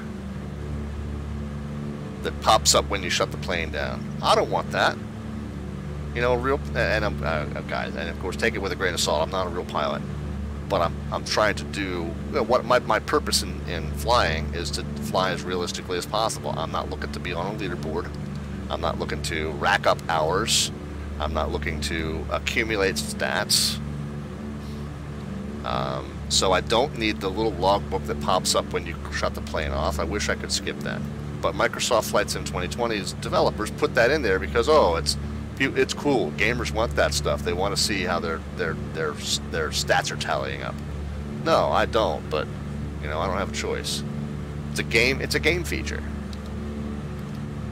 Um, that's one example. The whole um, menu bar at the top of the screen that, you, that automatically pops up every time you move the mouse around. Now we have a mod now that that suppresses that, which is awesome. But again, that's a very game-like interface. I don't want that on my screen unless I need it. So again, it's it's a, just a fundamental difference in the two platforms. X, you know, X-Plane wants to be more simulator-like, and Microsoft wants to be more game-like, but they both have reasons to try and cross over and meet in the middle. So that's my take on it, guys, and, and you know that may or may line up with what you think about it or believe about it. But basically, I think X-Plane is a simulator that you can mod to make more like a game, and Microsoft Flight Sim 2020 is a game that you can mod to make more like a simulator. To sum it up.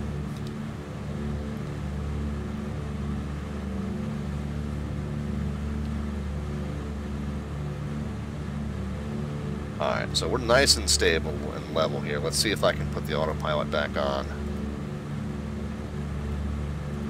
And level flight. Now why is it why is it pitching up? This drastically.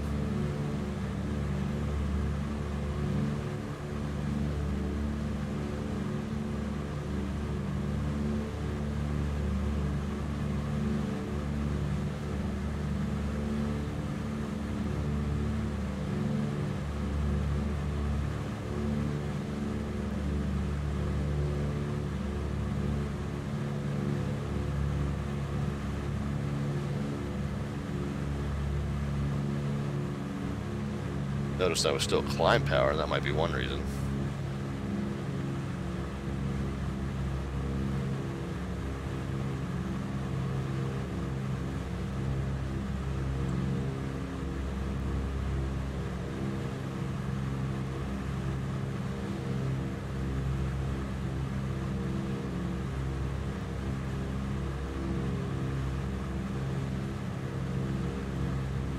Just about to say, uh, I might end up hand flying the whole rest of the way here, but now I think I think the reason was I have the engine still at climb power.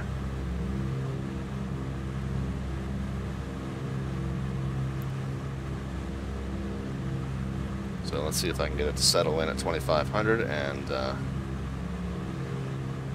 level out here.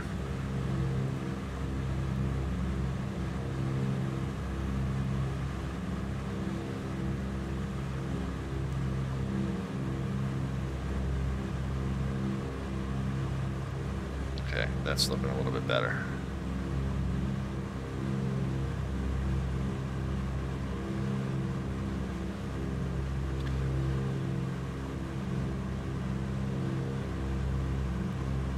And I'm not in heading mode anymore, so that's why I'm not able to turn the plane. Okay, there we go. Alright, I think we're fine now. I think I just didn't realize I was still in climb power there for a little bit. Engines, I was kind of monitoring engine temperatures there. Go ahead and close these back up a little bit. Do need to check on the fuel.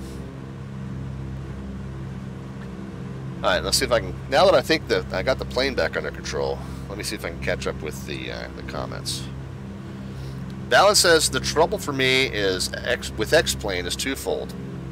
One is I'm not good enough at flying to notice the improved physics and, and plane accuracy. Fair point. And two, I'm not good enough at computers to really customize what I want in a flight sim. Yeah, that's fair too. That's why Flight Sim 2020 is, is more for someone like me. Indeed, I, I agree with you there. Um,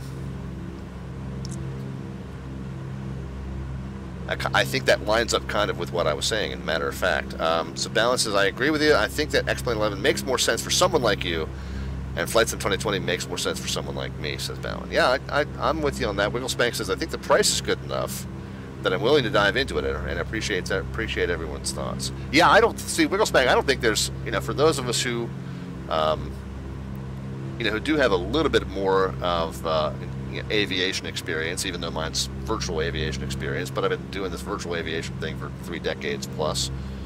Um, I don't think there's any. There's no uh, there's no downside to having both.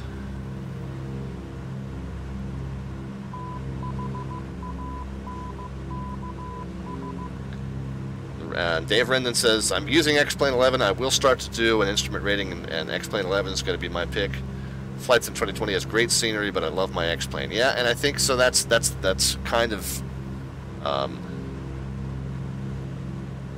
you know, kind of another consideration is that uh, because X-Plane is more of a simulator than a game, um, it gets a lot of the instrument flying type stuff uh, more correct than Flight Sim 2020 does.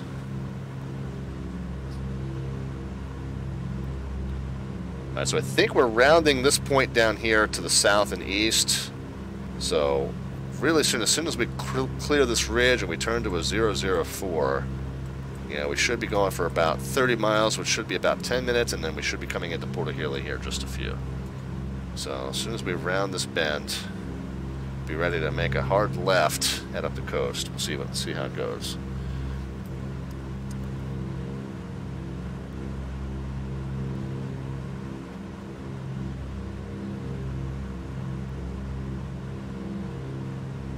We got 28 Gabriel with us. Gabriel, thank you very much for stopping in, and he's hit the follow button as well. Gabriel says, "Good night. How is how are your nav conditions? We're doing VOR to VOR or other. So I'm kind of this is more of a visual flight right now. I'm navigating. Of course, we ran into some issues with clouds. I think the clouds have now lifted, so uh, we kind of got ourselves boxed in by the cloud cover earlier. But we're doing this first leg here is just a more of a visual flight. So uh, just navigating based on the coastline and so the ridge lines and stuff. We, we, we saw an instance earlier where that pretty much failed. I was I had intended. I'll show you show you, Gabriel. We had intended to come down this valley here, but we got boxed in by clouds, and uh, so I had to do an emergency climb maneuver and come out. I wound up coming out that way, and so we wound up taking more like the path that I've drawn now. That was plan A was what I just drew for you there, and it didn't quite work out too well. All right, I think we're ready to make this left turn here. But other than that instance where we nearly died, yeah, we've been doing this much more as a visual flight uh, not navigating with any kind of radio nav aids. Typically on this channel, though, we do a lot of uh, general aviation IFR flying, so typically on this channel we do use a lot of radio nav aids. And we will probably do more of that tonight on the second leg. The second leg uh, from Porto Heli down uh, to the southeast across this open water, we're going to definitely use some of these VORs. We're not going to navigate to and from them like, like on airways, but we'll definitely use some of these VORs to kind of corroborate our position as we go, and I'll show you how that's done. Some different radio navigation techniques you can use to keep track as you go.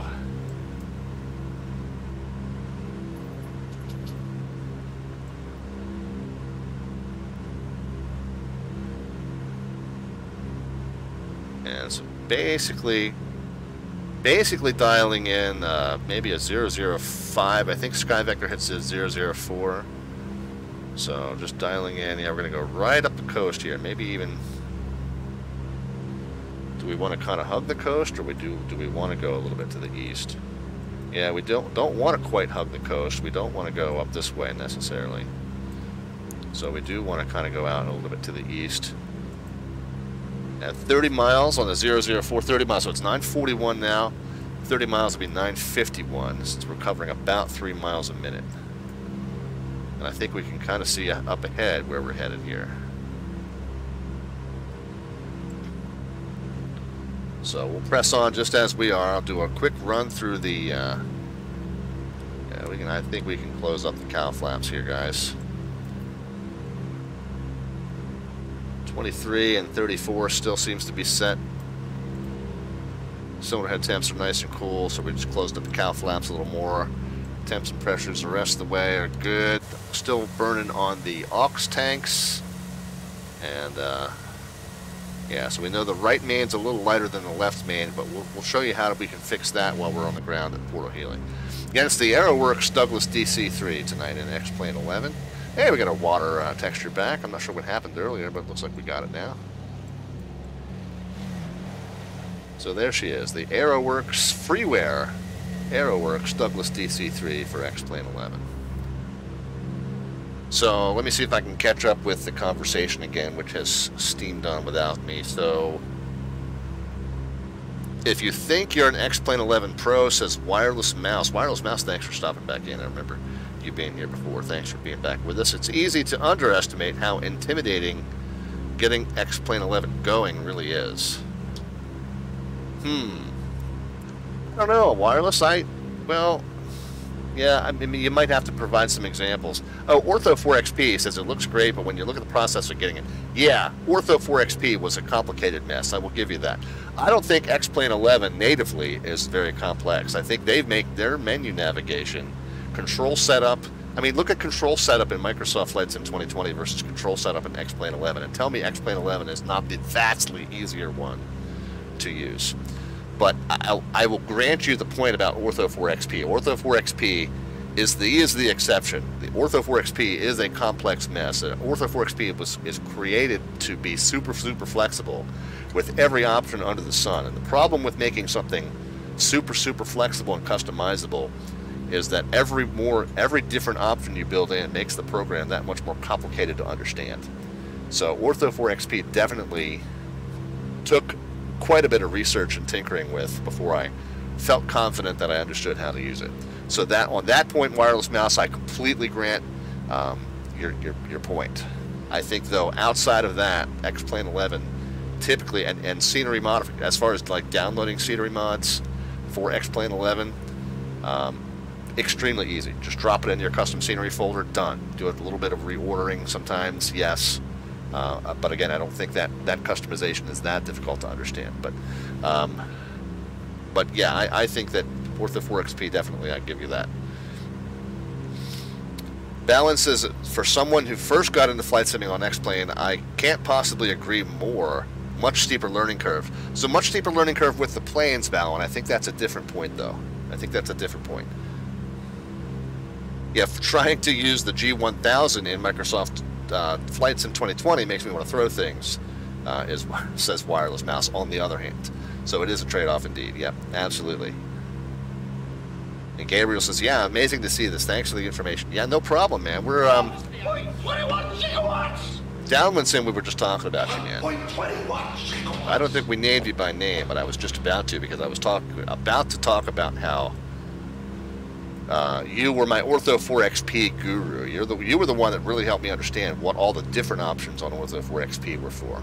Okay, so we're heading up, and and again I said 940, so I think 950 we're going to be getting ready to pass this little island, go around the bend, and make our approach into Porto Heli. I don't know the runway numbers there, and there's no charts for this place. It is basically just a dirt strip. So there I think is the island that we're going to round the bend here. We do know that the field elevation there is listed as 70 feet. So we will just be descending soon to, uh, to a pattern altitude of just about maybe 1,100 feet. Uh, good evening. Oh, good evening did mention Downwind Sim. So there you go. Downwind Sim's ears were burning. Uh, and he said, uh, Downwind Sim has the best video on using Ortho 4XP I have ever seen. It helped me a ton. Yes, thank you. I, did, I had not yet seen your comment, good evening, although you had said it a little bit ago. Um, but uh, I think you're spot on with that. Wireless Mouse says, uh, X-Plane 11 is indeed easy to start with, but when you want to mod it, uh, it can be a lot. Yep, I, I, I, yeah, yeah, I think we're, I think we're in agreement there. Brick Copilot, of course, saying hello to uh, Downwind Sim as his captain scientist. All right, guys. Um,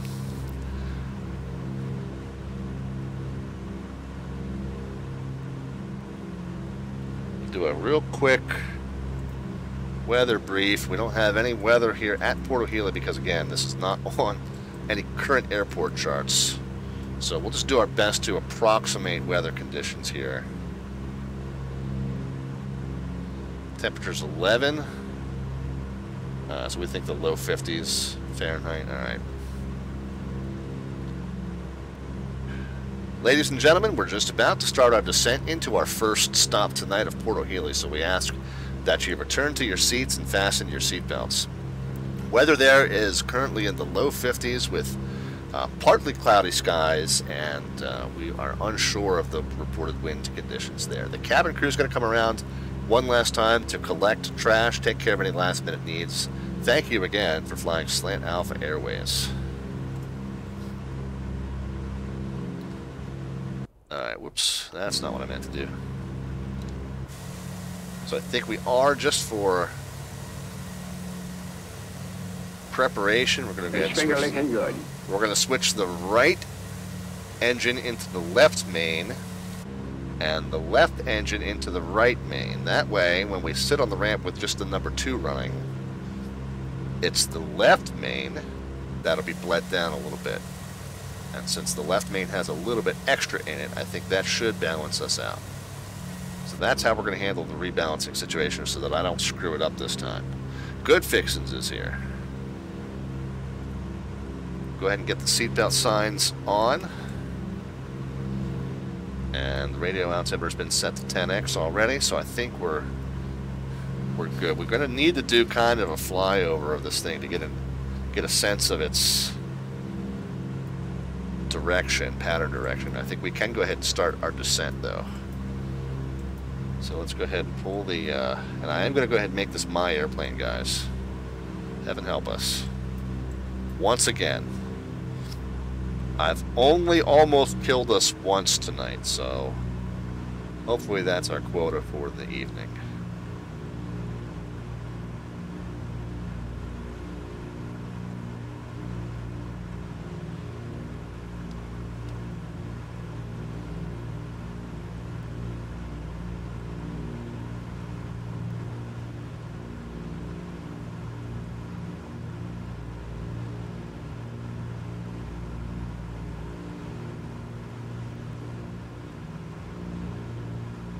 And as we come as we come around the tip of this island, it should be kind of around to the northwest, and then we're essentially going to end up in a right downwind, if I remember correctly when I kind of scouted this out.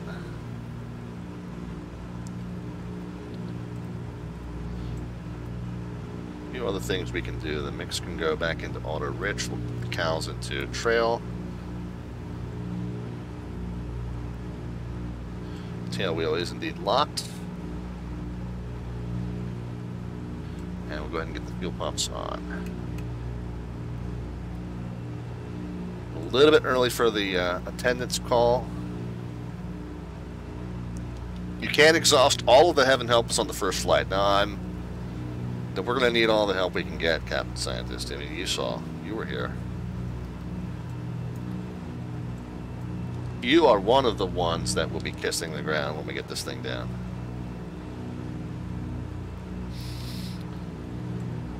I believe that the runway direction on this thing is northwest and southeast, kind of like 15 and 33, more or less. So I think as we make the left turn up ahead to kind of navigate up the, the channel, I think we're going to essentially be on a right downwind for it means we need to keep coming down, though.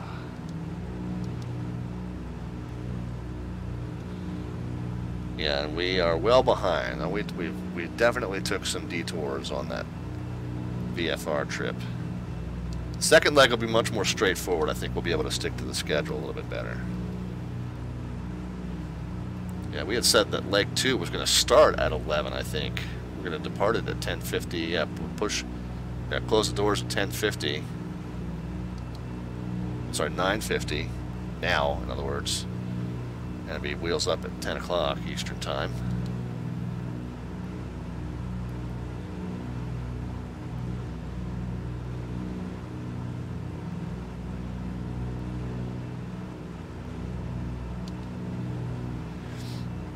So good fixins, yeah. He's asking, so Sevens Five Seven Spy turned us on to Greece, and he says, yeah, I know he flies there a lot. Um, yes and no. I mean, I had the idea of doing you know, kind of a Mediterranean island hopping tour. I mean, I guess you could say that came from his inspiration. Sure, why not? I mean, my goal was to kind of find a place to do some island hopping that I hadn't done a 100,000 times before. You know, we, we've we've been up into the San Juan Islands and uh, the, the Pacific Northwest a bunch of times. It's it's a gorgeous place. Um, I feel like though I've kind of seen, for my purposes, seen all there is to see there. All right, I think we're coming into it, guys. I think this oval-shaped lake. Yeah, there we are. There's our runway.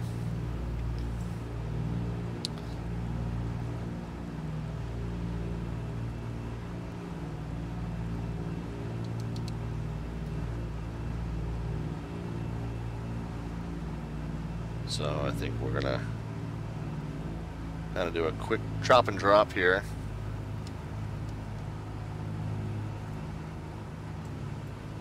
And a uh, right, right downwind. This is some slant alpha flying, indeed, below minimums. We're back on the uh, back on the core theme of the channel. We'll start getting props full forward. That'll help us slow down some. That'll also help us be ready at the command of some power if we need to do a go around, which, looking at the uh, likes of this little third strip here, may be likely. I am pulling power out though at the same time. Yeah, and I'm in a very high right downwind. I should be down, as you really don't want to descend into a downwind leg. That's kind of a bad habit I'm in. Porto Heli traffic, Douglas 514 Delta Victor's in a high right downwind for the southeastbound runway, Porto Heli. So, again.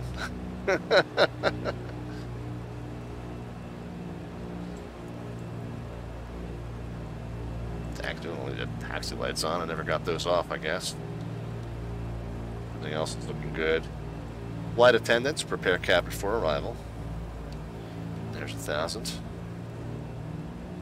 And we're under uh, under 120. We can go flaps one, and under 100 we can go flaps two here. So we're kind of catching up with the configuration. Uh, lost sight of it, but we know it's kind of right there. Yeah, okay, there it is. I see it. Right over the right wing. Might be off your screen there. But we see that little island that we're going to aim for as our, as our turn-in point, so... I think we're good. Keep it at about 11. So the field elevation is 70 feet. I want to keep the uh, pattern altitude at about 1100. Oh, I'm way slow. Way slow.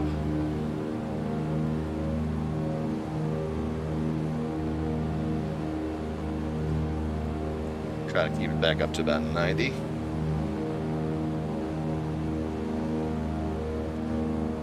There's 1100 feet.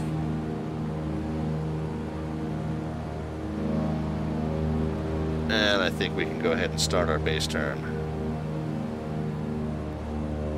So there's 90 knots in flaps 3. You guys can start putting some landing rate predictions in.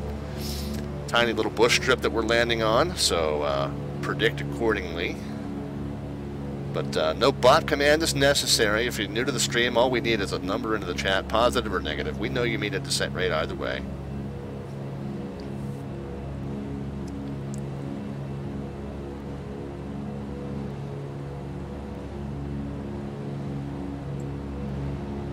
Yeah, there she is. Okay, let's turn.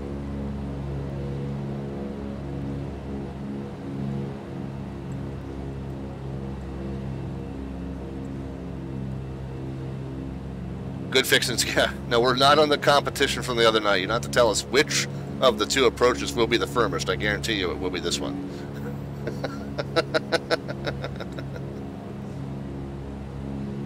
Ballin wants to predict a specifically positive number. Ballin, Ballin believes we're going to touch down inverted on this thing.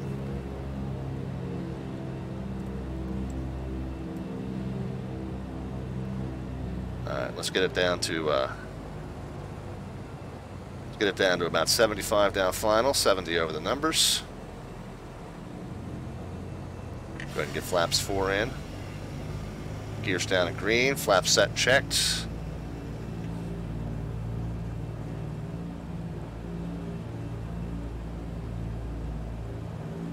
We're at 75. I am, looks like I am drifting a little left here, so we'll Put a little center line correction in. Runway is not exactly straight either.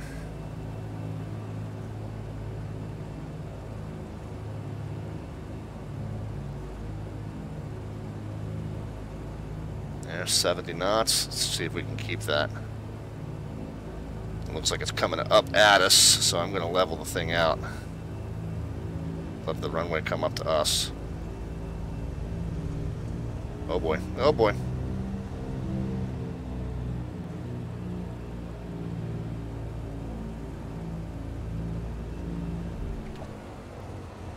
Well, 219, but I don't think my descent rate was actually that. I think uh, the runway was coming up at us to some extent. Uh, are we going to stop before it ends? Uh oh I think we might be taking a swim.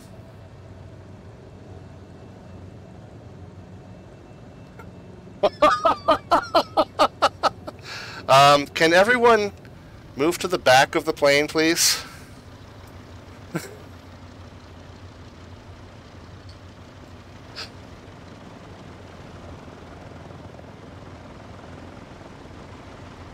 Um, yeah, you guys do the do me a favor. Hop out here.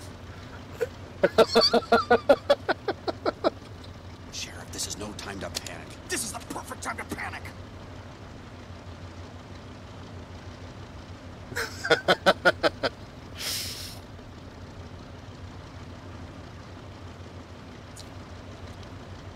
I don't think I have thrust reversers in this thing.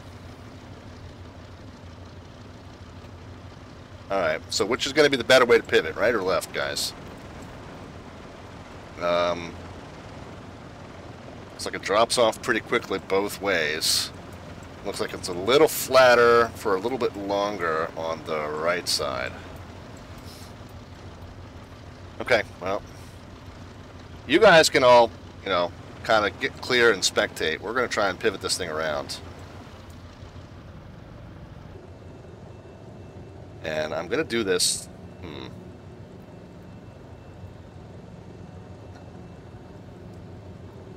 Right rudder, right brake, left throttle.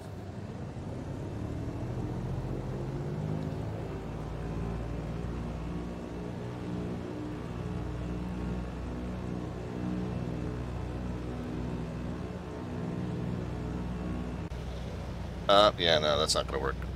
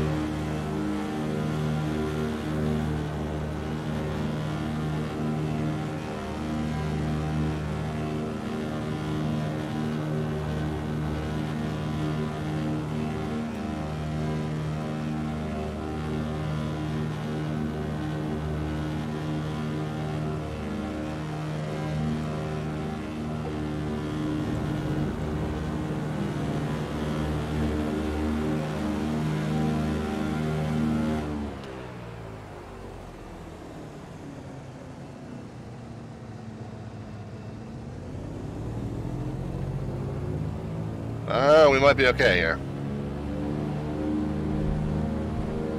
We might register another landing, but we might be okay.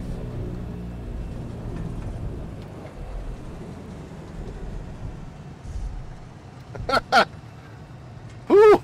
That was fun. We might need a, need a replay on that.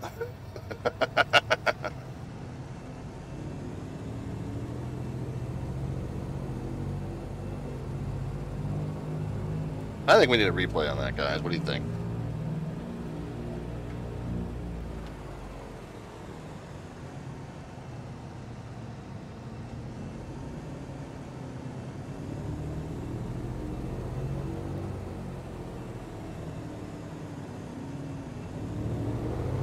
Oh, and you know what? What what killed me? I still had the tail tail wheel lock on. That probably would have worked a lot better if I'd remembered that.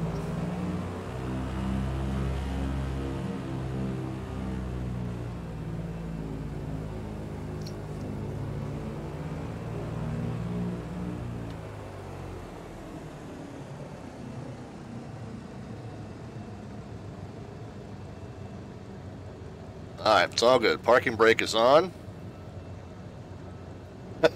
Ish.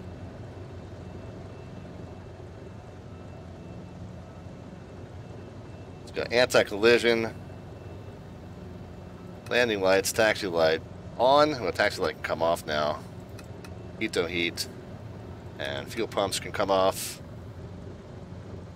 Yeah, guys, remember to uh, remember to thank 757 Spy for this this uh, adventure tonight. This is all his fault, like I said.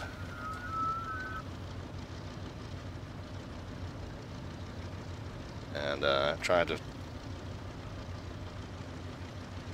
trying to figure out where I can put it where it will stop rolling.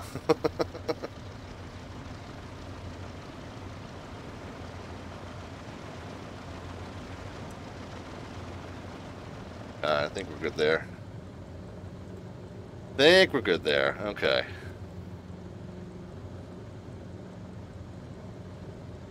Alright, let's, uh, let me find out where I'm in my checklist just to get the plane shut down. And I'll tell you what, we're going to leave it right where it is. We're going to leave it right where it is because we have to see that again. Have to see that again. Let's disconnect from, uh, disconnect from X plane or X pilot. Yeah, X pilot for just a moment.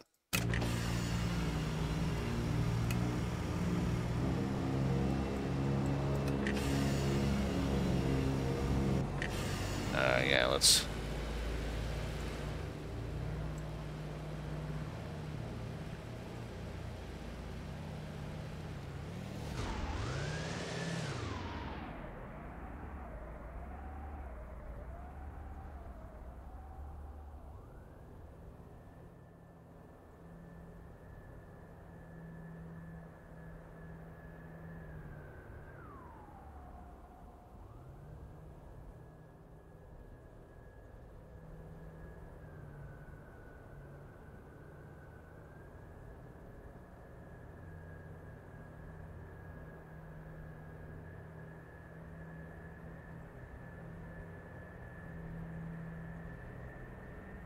that point, I was like dropping like a stone, and I'm like, oh my god, the runway is uh, crazy upslope. So I threw some power in and tried to tried to smooth out the arrival. Yeah, it wasn't really honestly for it being this what it was. The arrival wasn't that bad.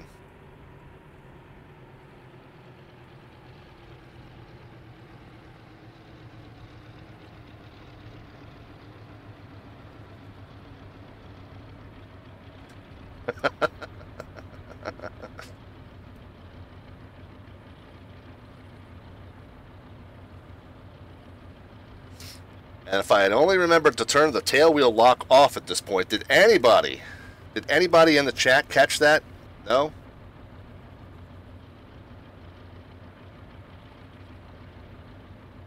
Predictions 169, 135, 1, 142, 188 probably was the closest with Morick.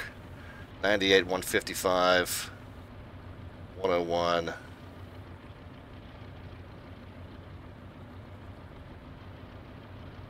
Yeah, so I guess Mork was going to be the uh, winner there with the 188, I think you said. Would it wound up being two and change. And then let's um.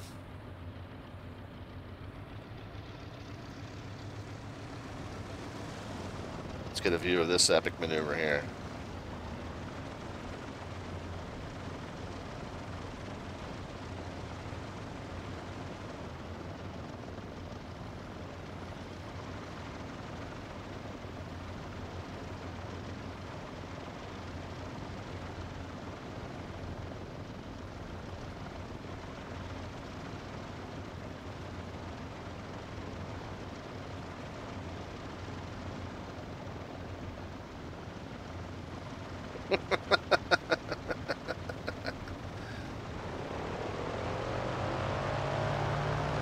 Yeah, here we go. If I if I had turned the tail wheel lock off, I think we would have been fine here.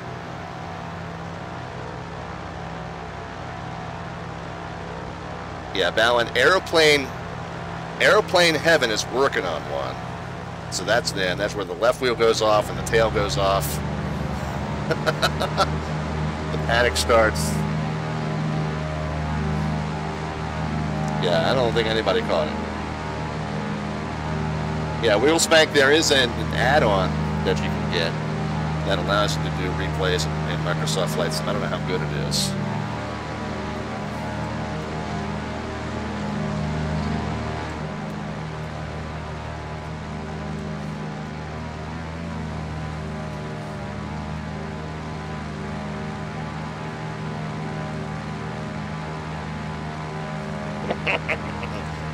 This is where death starts to look imminent. Captain VFR says, uh, I can link the freeware add-on in chat. Yeah, absolutely. There's no link restrictions. Go ahead and put it up there, Captain. Thank you for being by the- There we go. That was when we were like, oh, we've got motion. We might absolutely, possibly not die today.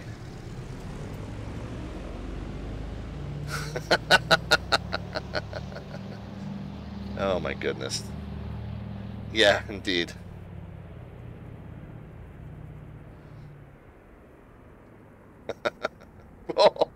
I told you we'd go airborne again. That's hilarious.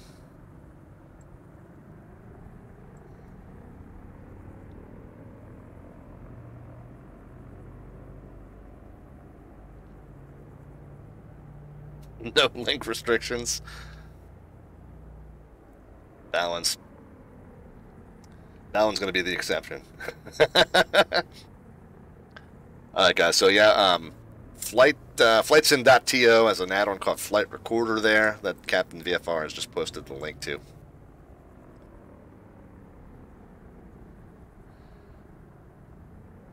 All right, guys. Well, of course, let's go ahead and uh, go ahead and let the replay play out there. And uh, are we back in live mode? Are we back in control of the plane? All right.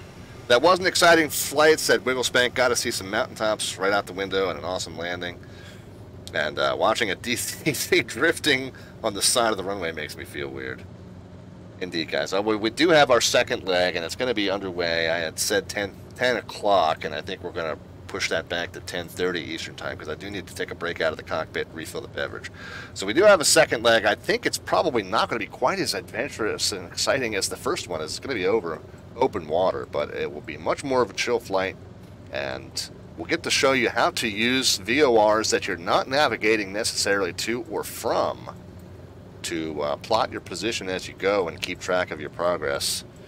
So we've got some some kind of more cerebral flight uh, than than this mess um, for this second leg. We also need to kind of go through and check our. We might need to put, put a little more fuel in this thing. Uh, well, yeah, yeah, we'll use autopilot. We'll focus more on the navigation. I, I tend to tend to hand fly the departures and the arrivals, but we'll use some autopilot for the uh, for the open water portion, just because we'll get get a chance to play around and show you the navigation. Uh, it's not necessarily even intersections, uh, Raphael. Raphael uh, Rafoso there is asking about some navigation uh, equipment, uh, navigation uh, techniques that we're going to show. Not even necessarily intersections, uh, Raphael, because there's not really any airways to speak of here. Well, there's some RNAV ones. Obviously, we're not using those, but we're just going to do some point, uh, yeah, some point references, some some distance radio references off of these VORs to plot our uh, plot our position as we go. So we'll show you that. We'll show you that. No worries, no worries. So that we were talking about that at the beginning of the show, Gabriel. This place is uh, is listed as LGHL on SkyVector, but there's not a default spawn-in point for it on um, in X-Plane. It is just the ortho LGHL. If you look for that in X-Plane, you will not find it. So uh, yeah, it's it's it's a. I think you'd probably have to take off maybe from Milos here and uh, and join us. But yeah, man. All right, so we got the second flight coming up in just a few. Let's let's close this first one out. Um, we got the tail wheel, taxi light off, and parking brake on. Tail wheel is now relocked. We can so we set the transponder back into standby mode. Actually, just shut it off for now. Uh, we will go ahead and shut the left engine off only. That's going to be mix, magnetos, and generator. Seatbelt signs can come off. Of course, we'd let you guys out before we attempted that crazy maneuver, so you guys are not in the plane anymore anyway. Uh, we will go ahead and open the doors to let you guys come back into the plane when you are ready and uh, brave enough. You can reset the trim. Uh, yeah, get that back to uh, news nose neutral there. And uh, so we'll check on our fuel. And we know that our ETA was way off. Um, what we're supposed to have in the tanks at this point is 260 gallons. We might have to add a little bit here. What do we have? 70 and 70, so that's 140. So we need a, we need another 120. So we need 60. So and we've got 48. So we're about 24 gallons short. But we're going to end. We're going to end with 138. I think we're going to be fine. I think we'll be okay here, guys. We'll, we'll press on. The only way we're getting off this rock is to have to board again, says Good Fixes. Yeah, exactly. All right, guys. Well, I'm going to take a quick break out of the cockpit. I definitely need to go to the little, little pilot's room and, and uh, take care of some business over there after that fiasco. A couple of, uh, couple of instances there during that flight where we needed to kind of uh, check ourselves before we wrecked ourselves. So, uh, sit tight. We'll be back into the plane in just a few. We'll give you a nice view of uh, Porto Heli, Greece here while we take our break. And just give me just a couple of minutes out of the cockpit, guys, and we'll see you in just a few. Which way do we want to look? We want to look over the town. Yeah, we'll do that.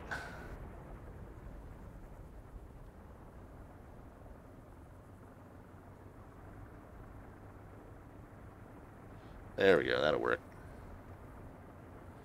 All right, enjoy. We'll be back back with you in just a couple.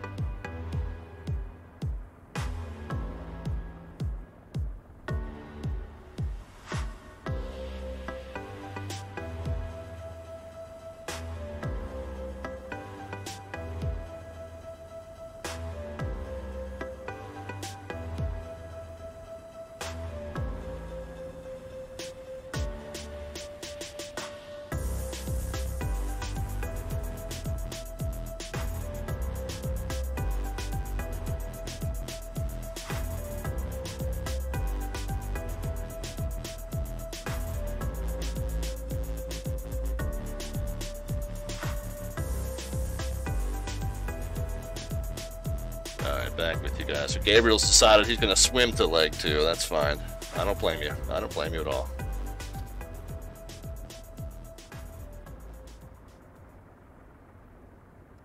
All right, I'll tell you what. One thing, first thing we need to do, kind of, here is get back. Let's get connected back into uh, that sim. Although there's really nothing going on over in this part of the world. It's dead of the night in uh, in this part. Of, oh, we got a Ryanair flying over us at uh, 27,000 feet, so we'll wave to him as he passes over. But yeah, there we are.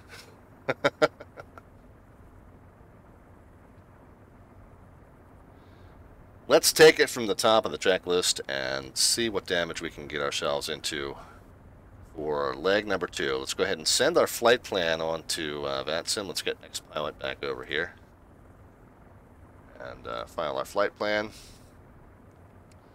LGHL going to LGIR. We're heading down to the island of Crete. No alternate.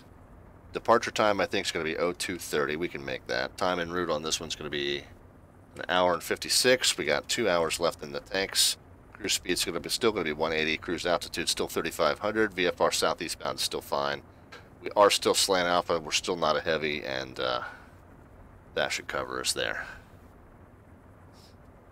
Uh, we do need to update that progress bar up top for you guys, though.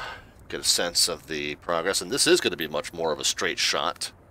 So uh, the progress bar will be a little bit more accurate as far as the time estimate, as it is more or less a straight path. We'll show you on SkyVector here, leg number two, and we can uh, actually blank this out. Let's go LG, HL, LGIR, just to show leg two by itself, because what we're going to then do is we're going to use uh, radio and distance references from these nearby VORs to plot our path as we go, and then we'll see you know, each time we do that, we'll see exactly how much mileage we have left to go.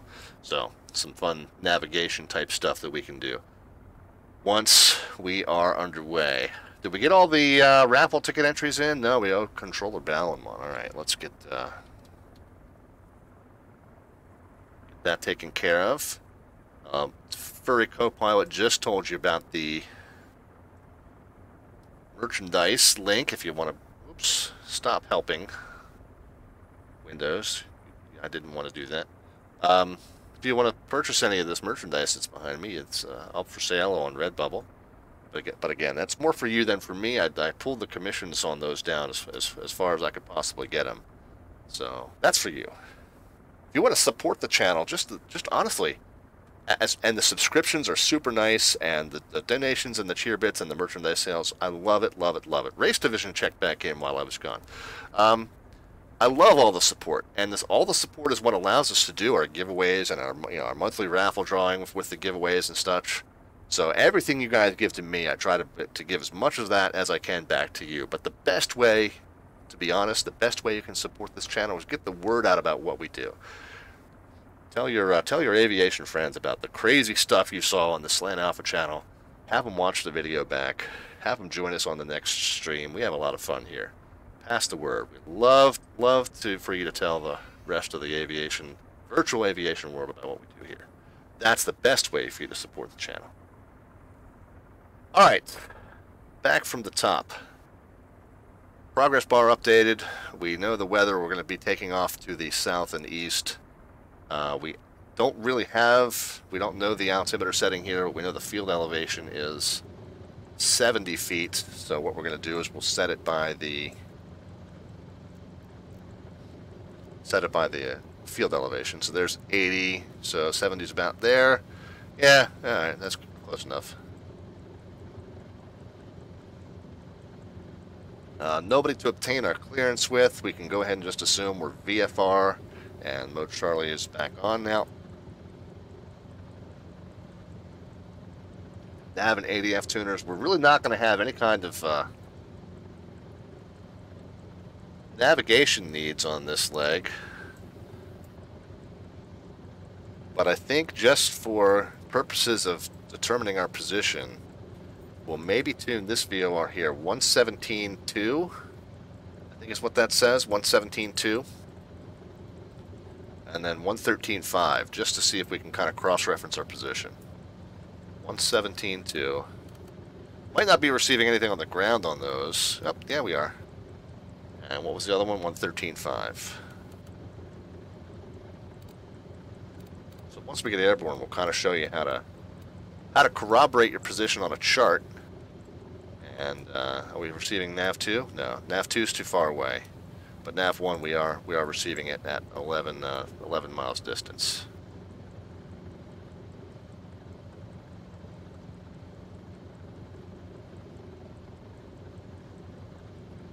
Uh, so Captain Crunch, if you want to redeem, then it's uh, you press the little button at the bottom of the chat panel that tells you. How, there you go. You got it. Never mind. You're all good. And you can yeah, and you can keep doing that as often as you need to until you as, as for whatever you got the points for. There you go. That's how that works, guys. Furry Copilot has given you the lowdown on that. Captain Crunch has shown you how it's done. So uh, yeah, the exclamation point 2000 doesn't do anything, but the button right there by the uh, by the Alphabets logo will uh, help you out. All right, now back to where I was, which was trying to get airborne by eight minutes from now. Nav and ADF tuners are set radio altimeter. I like to set the radio altimeter to one extra departure, so I'll use that when I get to 400 feet.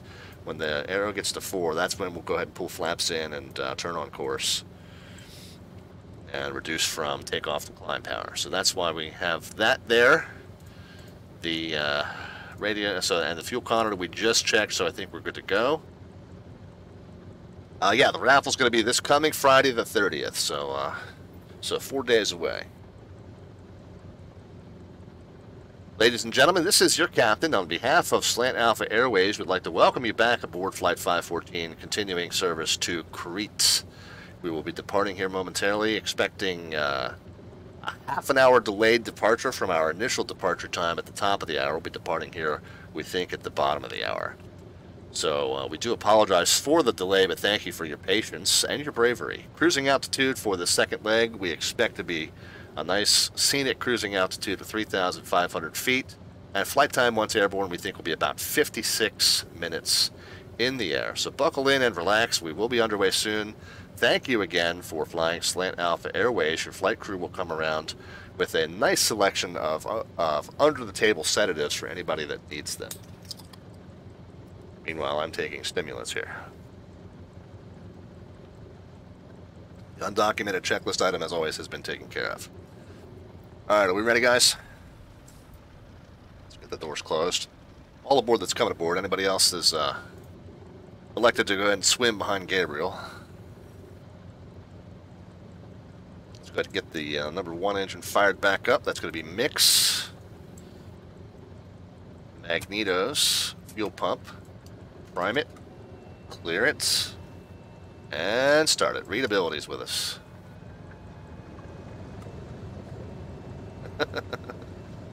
There we go. Oil pressure has come up right away. Fuel pressure you can see is artificially elevated because of the electric pump.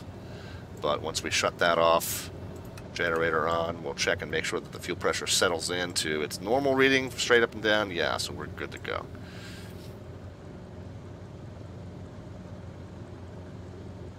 Alright, headings probably are off by a few, so that's showing... So we're, we're not exactly wings level here. So I don't know how uh, how uh, reliable that magnetic compass is, but we'll just assume that it's reading accurately at uh, 120 on the nose. We'll go ahead and get that set there and there. And we'll just set the top to zero because we're going to hand fly the departure.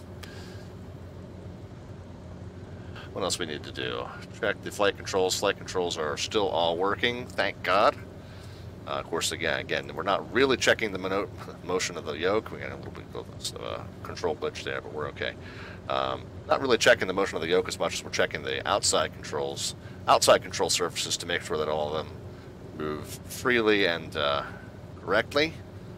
But uh, somebody out there will give us a big thumbs up and let us know that they have all done so, and we're good to go. Uh, we did already neutralize the trim, but we'll double check it because that's where it is in our checklist. Yeah, we'll bump it up a little bit.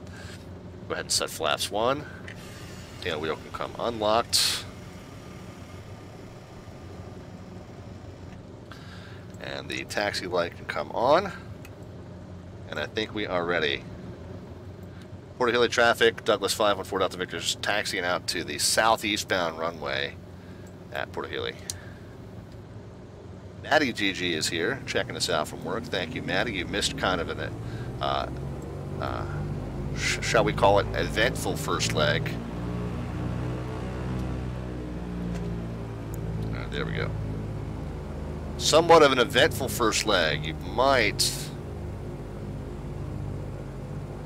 Having trouble getting it to go right, guys. There we go. You might want to... Oh, you did see that? Okay, you were lurking. That's good, man. I was going to say, you might want to check that one back out in the in the video on demand or on the YouTube channel once it gets up over there.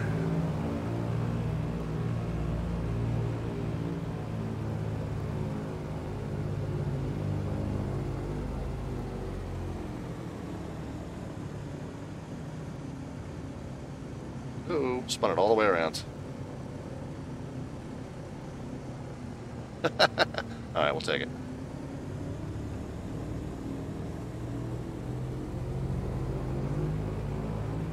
It was a butt clencher, yeah. Indeed. Now let's let's spin it back around here. Let's make sure we've got every inch of this runway. And we're gonna need every ounce of our short field technique spot on as well.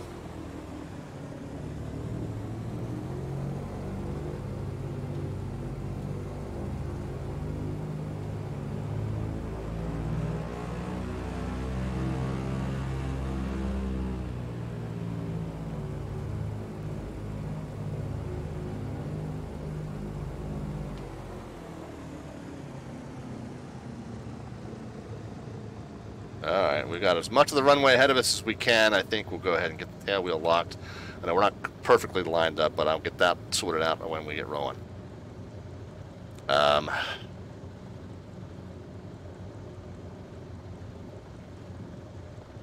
so let's go ahead and so check our hydro pressure.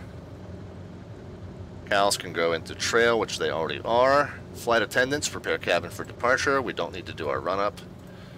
We uh, have taken the runway already, so we should have already gotten anti-collision landing lights on, taxi light off, pitot heat on, and fuel pumps on.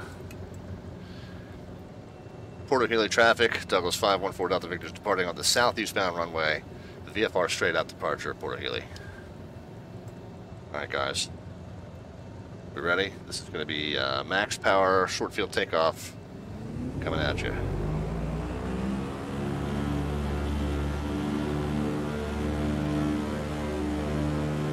Brakes off.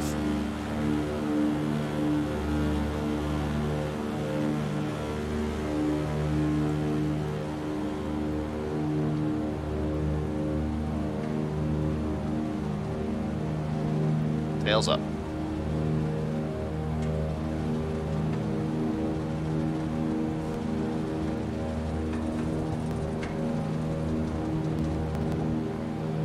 Oh, away we go.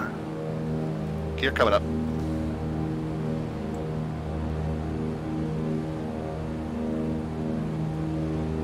Let's pitch it to 80.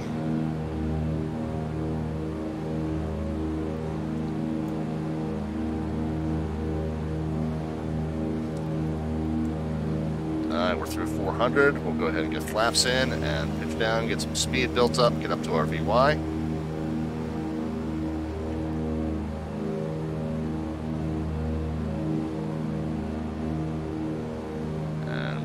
Down to 25 and 40.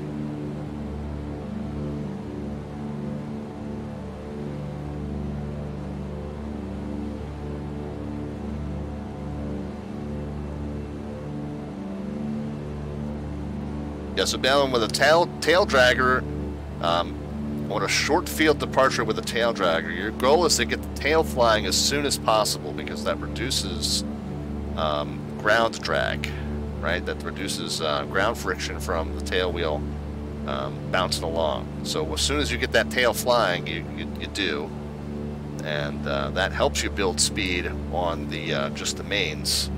And then uh, when you have enough speed, you go ahead and pitch up get the mains up and off. A lot of times too, you can you can actually pitch up just a little bit and get the mains up and off, but stay in the ground effect. If you got like obstacle clearance to do. Oh, does it retract the mains? Yeah, so the mains come up kind of tucked in underneath there. That's that's as retracted as they go, and the tail wheel just kind of dangles there.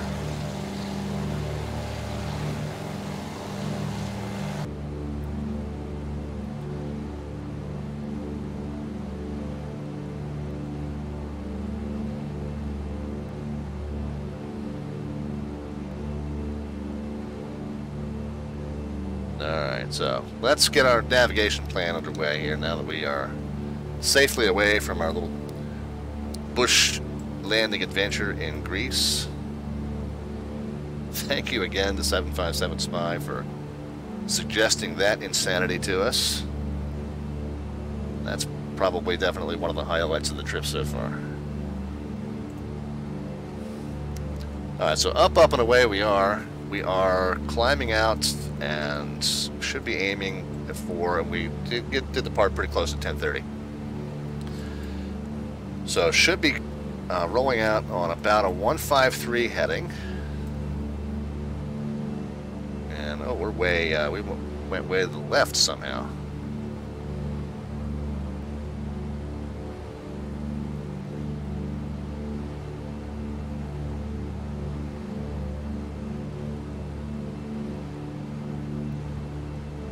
Red Dragon's with us. How are you? Yeah, so there we are. We're so we were going to go at a 153, and now that I've gone kind of up to the north and the east, I think we probably need to go more like a maybe a 160, honestly, possibly. We had said we were going up to 3,500, but now that these clouds are being drawn in, I'm kind of feeling cautious about that. Should I redeem my tokens today? So yeah, Red Dragon, the, the monthly raffle is going to be taking place on Friday, so I would say cash in what you got today, bud. You might be able to get one more on Friday, possibly, but uh, if if you happen to miss the show on Friday, then uh, you know certainly might be beneficial to you to just make sure you have in what you have in for today. Alright, so there's 2,500. I don't want to go up another 1,000 feet because I don't want to be flirting with those cloud bases. So we'll level it out at 25. And I'll pull the, uh, pull the power down. Oh, the one thing that we didn't do is we got up out of our, got up out of our takeoff sequence. Go ahead and get these uh, fuel pumps off.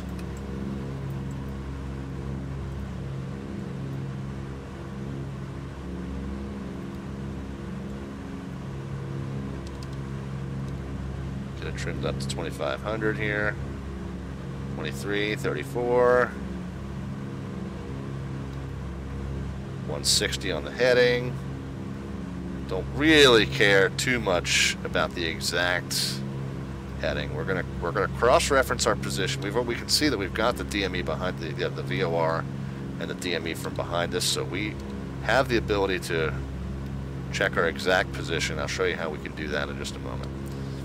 So we don't really care too much about the exact heading right now. Just want to get it nice and trimmed out to 2500 on a nice even heading, stable heading. Spin the uh, target heading around here to about 160.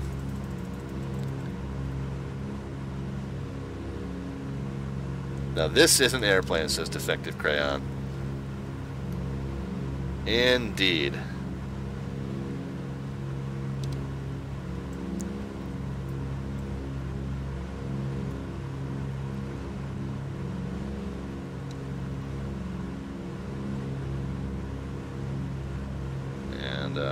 So let's trim it down to 2500. We'll hand the controls over to auto, and then we'll focus more on the navigation here. We'll catch up with a couple of procedural steps I've probably forgotten. I do think I want to get back into the aux tanks, probably.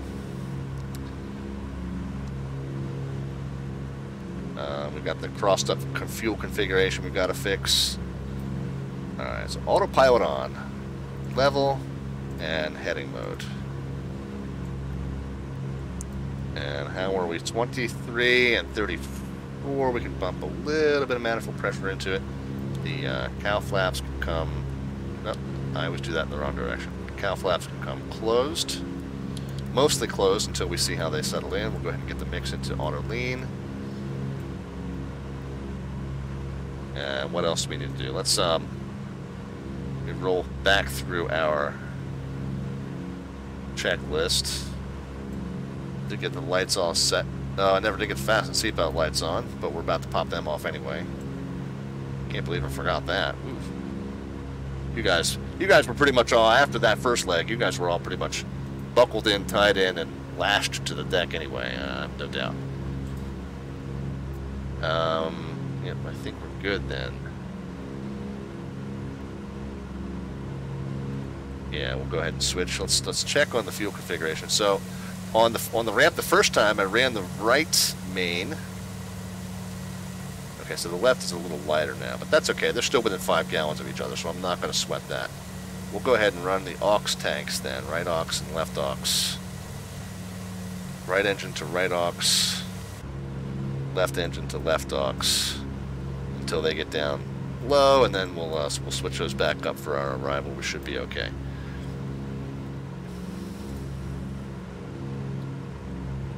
Alright, let me just catch up again with a couple more procedural things. see, we're now we're at cruise. Like I said, the fasten seatbelt sign can come off. The mix already went to auto lean. Fuel configuration was adjusted.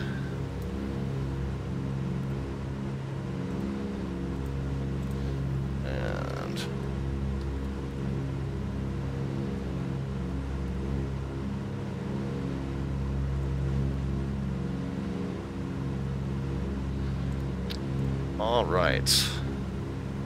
Yeah, Balin's going to sue the airline for that first landing. I don't blame you whatsoever. But you didn't hear that from me.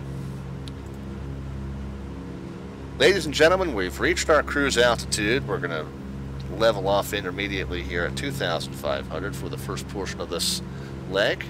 And we have turned off the fasten seatbelt sign. Your cabin crew is going to be coming around shortly with a fine selection of Red Bull products and Downwind Sim Spanakopita. So relax and enjoy the flight.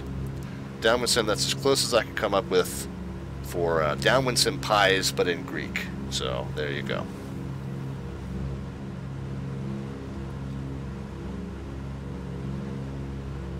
Red Dragons owed some raffle tickets. Let's see, do I owe anybody else? Any of those? Yeah, Captain Crunch gets two. Red Dragon gets six. Take care of those. How do you spell Captain Crunch exactly? C-A-P-T Crunch 411, okay.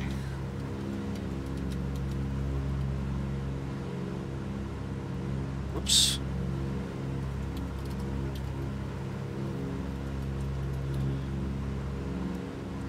So he gets those two. Did I get that right? Captain Crunch 411. Yep, I think so. And then Red Dragon, double eight, double nine.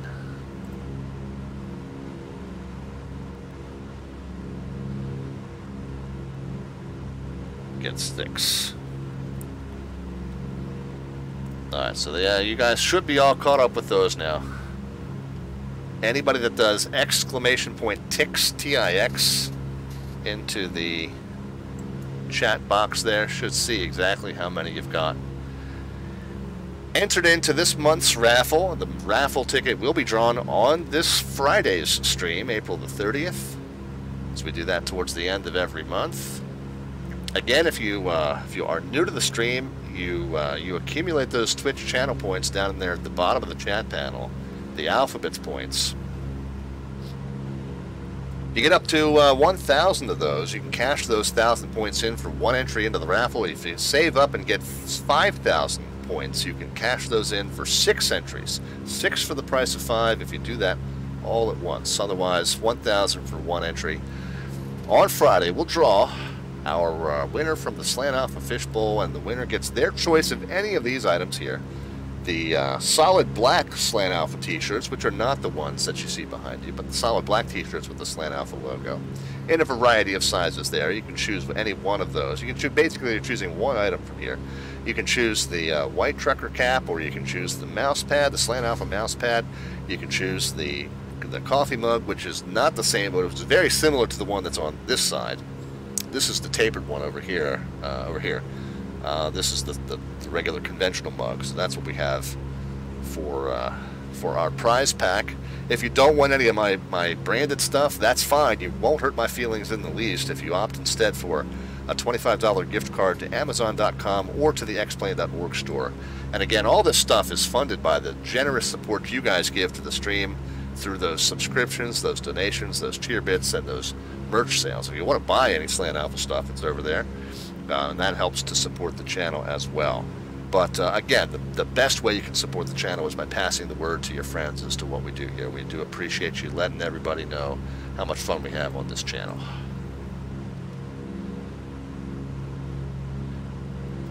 And C. George said that you download Ortho for Europe. Yeah, all throughout the um, coastal Mediterranean, C. George. Uh, I do have. I might. I don't think it will hurt anything. Um, I don't think it'll hurt anything if I pull up Ortho4XP and just direct it to the directory and I'll show you the, the tiles that I have. I don't think it'll hurt anything. The base, so I'm going to select the base folder, which is The base folder is the ortho folder, so that's got to go in my, my ortho drive here.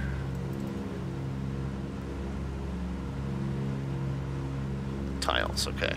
Yeah, there we go. So if I select that folder, and then I go to the ortho map, I think this will now show you if I let it build.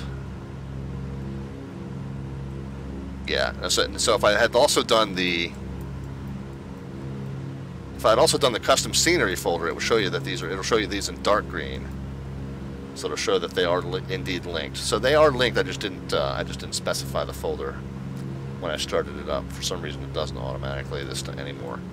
Uh, but this shows the tiles that I have throughout the Mediterranean coast. And then up into the uh, Austrian Alps and Italian Alps and then when we do our flight, we do our Berlin airlift reenactment. When we get to that portion of the leg, we've got the scenery throughout that area. Uh, we will make a stop over here in uh, Netherlands. And then uh, we already did a stop in Paris, but I think we, yeah, we did our stop in Paris on the way down. Uh, on the way back, we stop in Netherlands, and then we back up, cross back over into the UK, up through the UK, and then back up to the Faroes, which uh, once you get north of the UK, the ortho's not that reliable, so I kind of took it all back out for Iceland and for Greenland. Uh, but then once we get back into Canada, a little bit around Goose Bay there, and then through Moncton, and then down to the east coast here. So that's what I have. I don't have full coverage of everything, but I have kind of picked and chosen.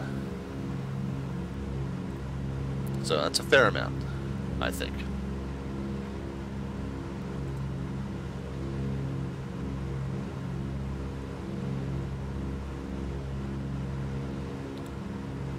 And bear with me, guys.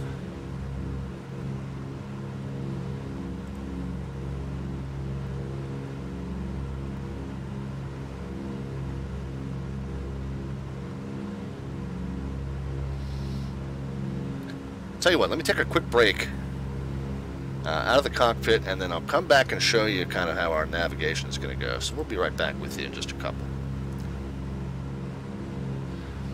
Uh, you, uh, Red Dragon, do you use V-States or recommend it? I've heard good things.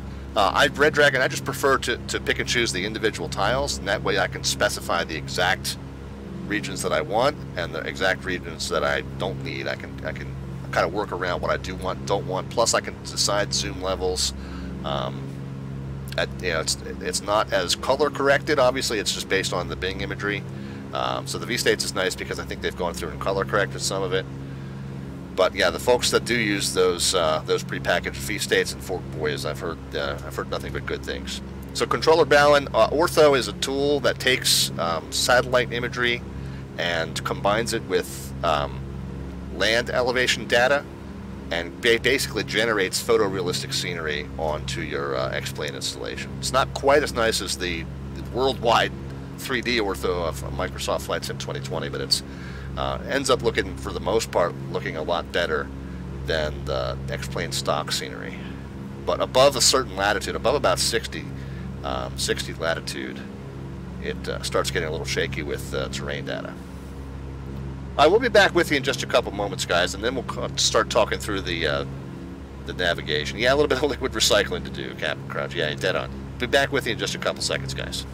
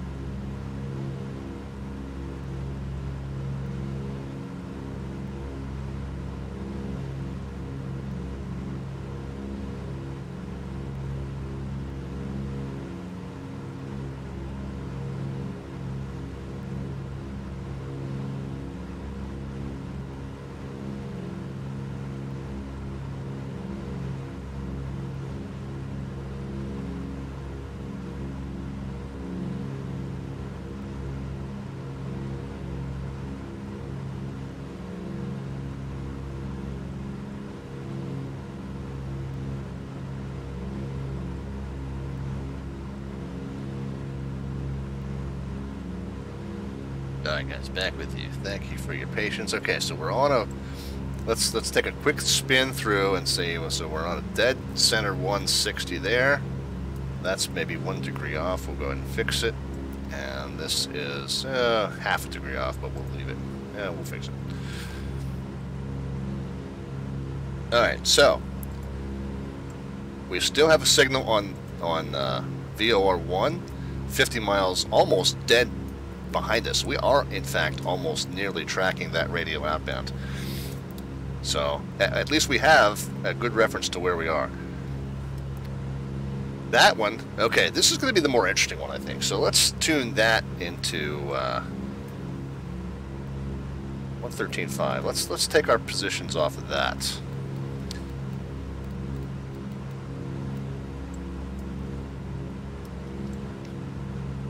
So we have this VOR that is 49.8 miles to our left. And you can see the distance is not changing by much. We're getting slightly, slightly, slightly closer to it as we pass by it. But we're not really getting too much closer because we're passing by it. We're not tracking in uh, toward it or away from it. But we can still use it to determine our current position. And this is the one here, Milos on 113.5. Again, the chart says 113.5, and we can verify that we got 113.5 tuned into the nav one, and it is uh, basically off to our 078, I guess, right? So that kind of means now, of course, we can we can do this right off of this uh, RMI since we have that direction arrow there, but we can more more appropriately, I suppose, do it off of this. So if we are, if it is to our 078, that means we are on the what radio? We're on the opposite of that. The two, uh, yeah, there we go. Basically spin that till it centers. Now it's not going to stay centered because we're not tracking that radial directly inbound or outbound. So we're slowly but surely going to cross that radial. See, it's drifting ever so slowly to the right. But at any given instant, what radial do we happen to be on? Looks like a 256, a 256 and 49, 256 and 49 miles. We gotta, we're kind of rounded to the nearest mile. So 256 and 49. Maybe by the time we get to uh, 49 point lower, say maybe a 257, right? 25. Or no, two fit's getting lower, 255. So 255 and 49. What do we do with that information, guys? SkyVector offers this really awesome capability. If you were on a paper chart, you would get your little measuring stick out and you'd figure out the scale. And you'd set the ruler up to the center and you'd set the ruler up to where 255 is. Okay, you'd measure from here. Where's 255? 270. Well, there's 18, 21, 24. So there's 255 right here. So you'd measure out in that direction. You'd figure out the scale to go 40. What was the mileage? I forget. 40 to 49 miles. I guess you know doing all this number stuff it really helps if you remember the numbers. So it's getting lower as we go as well. So there's a 253 and 49 miles. Alright, well let's let's do something with those numbers before I forget them. To plot this in, you put the three I, the letter identifier for the VOR, MIL. You put the three numbers for the radial that you are out from it, 253. And you put three numbers in whole mile terms for the distance, 049. Boom. It now plots that point for you as though you did it with a piece of paper. Ruler and whatnot. And so it says that's where we are, based on what we just read from that VOR, that's where we are. So that's the track that we've taken. You know, again, we know that we came up kind of close to this island and went somewhere around there. And so we've been tracking, I guess, a 164 from there. And now, according to the VOR, we're there, and we really need to make kind of a left turn and track a 127 for 108 miles to get to our destination. So let's make that left turn. and then we'll do that a few more times, and that'll be a means of keeping track of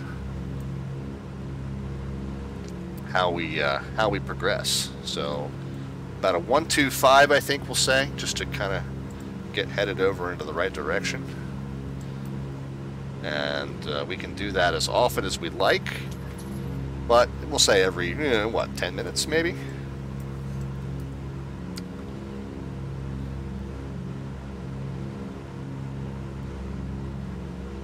Taha 123 is with us. Taha, we are headed down to the Greek island of Crete. Doing some Mediterranean island hopping in the Douglas DC-3. The AeroWorx Douglas DC-3. We are in X-Plane 11 tonight, not in uh, Flight Sim 2020. We fly a mixture of both on this stream. X-Plane tonight. Uh, Red Dragon, how many times can you redeem tickets? You can redeem tickets as many times as you've got enough points for. Uh, it's up to you if you want to dump everything you got into this uh, April drawing, because remember, after the April drawing, the tickets all reset, so you start from scratch for May. So if you want to just get a handful in for April and then hold a handful in your pocket to put into the May drawing, that's fine. Or if you want to dump all your uh, accumulated points into the April drawing and then start fresh for May, that's fine too. However you want to strategize, it's fine. But if you've got 15,000 points sitting there and you want to redeem them all for tickets for this drawing, go ahead. Defective Crayon says, yeah, PBD, a point, point bearing distance fixes are fun. I've had a few situations where I wanted them in my filed route to avoid some undesirable airways, and ATC had no idea. I love them so much. Yeah, and I typically don't file them uh, as fart, uh, fart as a as fart of a brute as part. have no idea what I was trying to say. I typically don't file them as part of a route. Um, but I do use them in this exact situation when I'm. I, I use them. I use them honestly more for VFR flying when I want to corroborate my position in a kind of a dead reckoning situation. That's when I use them the most. Controller Balin says, uh, my wife on the other side of the room says she loves your Twitch name. Balin, um, you ought to have her watch his channel sometimes. That little uh, icon he's got there uh, is the I, I, and I, I hate to say this because I'm gonna gonna gonna gonna you know make him you know question his masculinity here, but it's the most adorable little mascot I've ever seen. the little bear with the captain's hat kind of slightly askew. I love it. It's just it's just cute, man.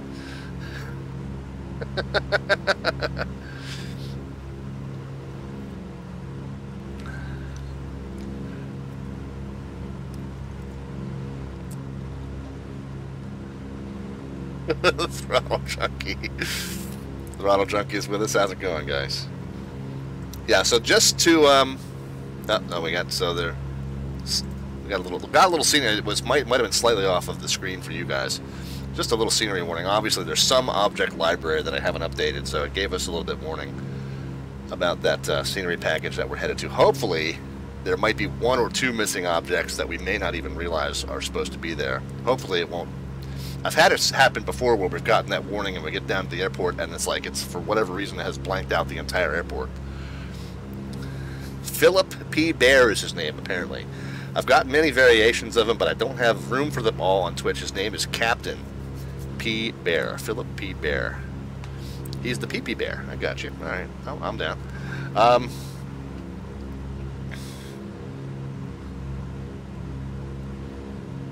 but uh, but anyway,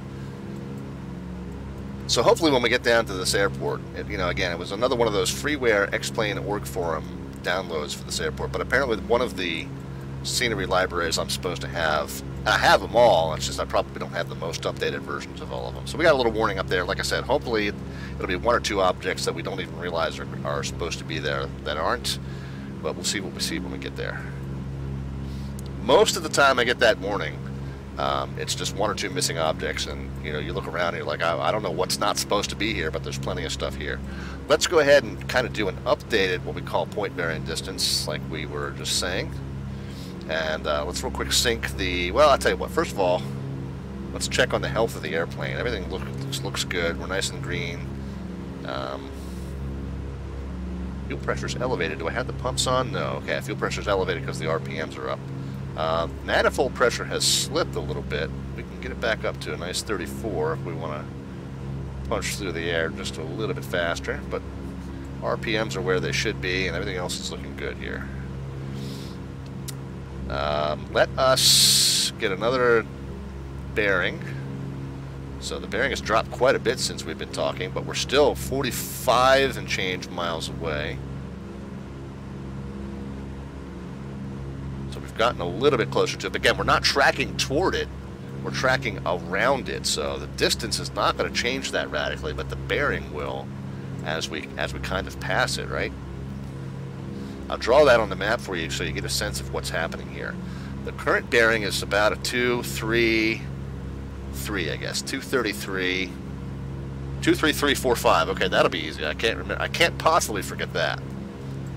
233 and 45. MIL 233045. Boom. Okay, so now you see we've made the turn and we're progressing much more toward our destination at this point, and we want to maintain about a 125, it says. And what are we flying? About a 125-ish. So that's good. All right, now let's let's kind of illustrate for you why the why the bearing is changing.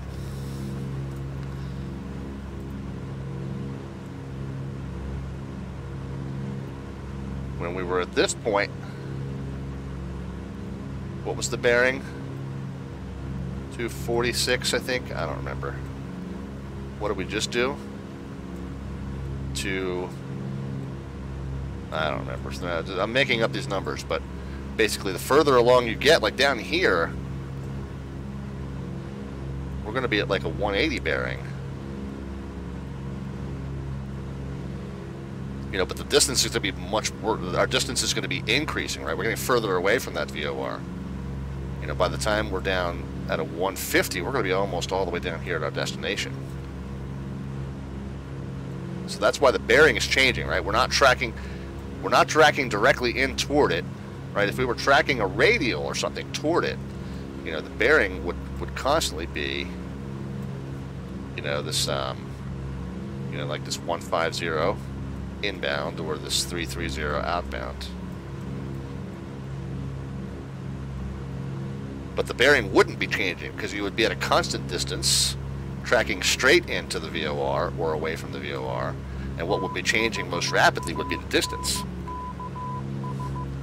But in this case, because we're not tracking directly toward it or away from it, the bearing and the distance are changing. So it's different than tracking a radial where you're following that signal. We're just using the changing bearing and the changing distance to keep track of our changing position. Hopefully that makes sense to you guys.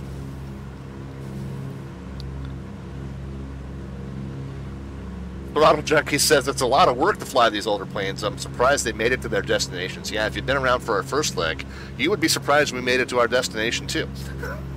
I think we all were.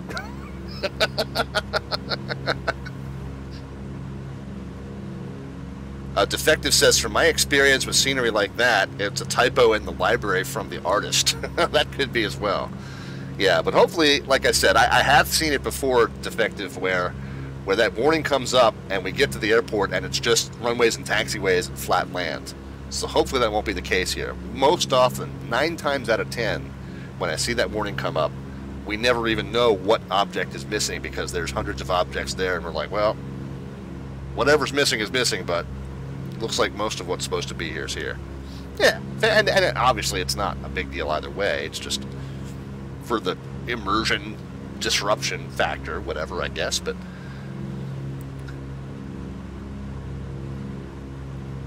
Mr. Beast is trying to do a song request. Yeah, we don't do songs on this channel, man. This, we, if you want to play songs in the background, have at it. you can play what you like. Defective Crayon can play what he likes. Controller Balin can play what he likes. Yeah, we don't do we don't do music on this channel. Um, just for eh, mostly for the copyright infringement issue. Um, but also because I do kind of keep it family friendly, and I don't uh, I don't want to accidentally have something playing that's not family friendly. Yeah, man. So y'all, if y'all want music in the background, please have at it. There's, there's nothing stopping you.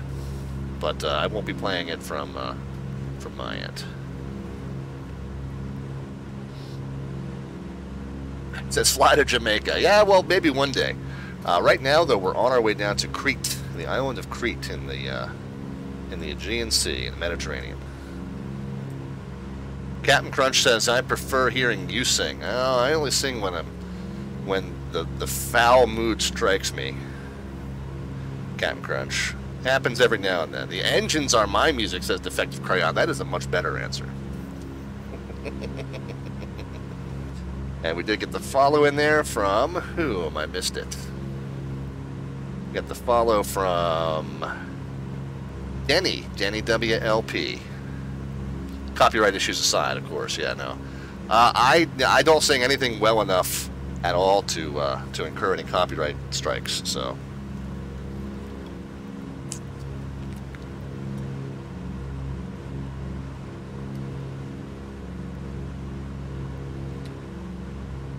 But uh, Denny Welp, I'm not sure how you want that said, but we're just going to probably go with Denny. But uh, thank you for being here. Appreciate you flying along. We're in the AeroWorx Douglas DC-3, which is it's really on the xplane.org forum as a C-47 Skytrain. And if we were, say, for example, to uh, open up these doors, we would see. I can't. Uh, so can I get in there? Yeah. So we can kind of see that it's modeled not really as a very luxurious passenger cabin. This is modeled as the troop transport and slash cargo plane variant for sure. But uh, I do fly it as a uh, as a civilian DC-3, so we just kind of imagine there's uh, luxurious seats back there and um, a uh, doubtlessly gorgeous flight attendant uh, back there attending to your G-rated needs. And this is custom livery for this AeroWorx uh, C DC3 that was done for us by our friend of the stream, Northwest Orient. Of course, you can guess by his Twitch handle that he likes all things vintage as well. no, no, we're not throwing anybody out. What do you do with the drunken paratrooper? What do you do with the drunken paratrooper? There you go, got some singing. Um, and uh, so that's my grandfather's name. That's under the under the uh, captain's window there. Um, a- again, uh, our friend Northwest Orient put this nice, beautiful livery together for us, and I had uh, I forget what he had under there originally, but I had asked him to go ahead and change that to my grandfather's name. My grandfather did fly in World War II. He did not fly these particularly. He flew Corsairs, Wildcats, and Hellcats, and he was uh, a naval aviator stationed on the USS Bogue, which was a sub-hunting aircraft carrier working in the Atlantic, and they were the most uh, prolific neutralizers of the German U-boat fleet during World War II. Very proud of his service. What do you, what do you do with the mixture enriched pilot? What do you do with the mixture enriched pilot? Give him another drink.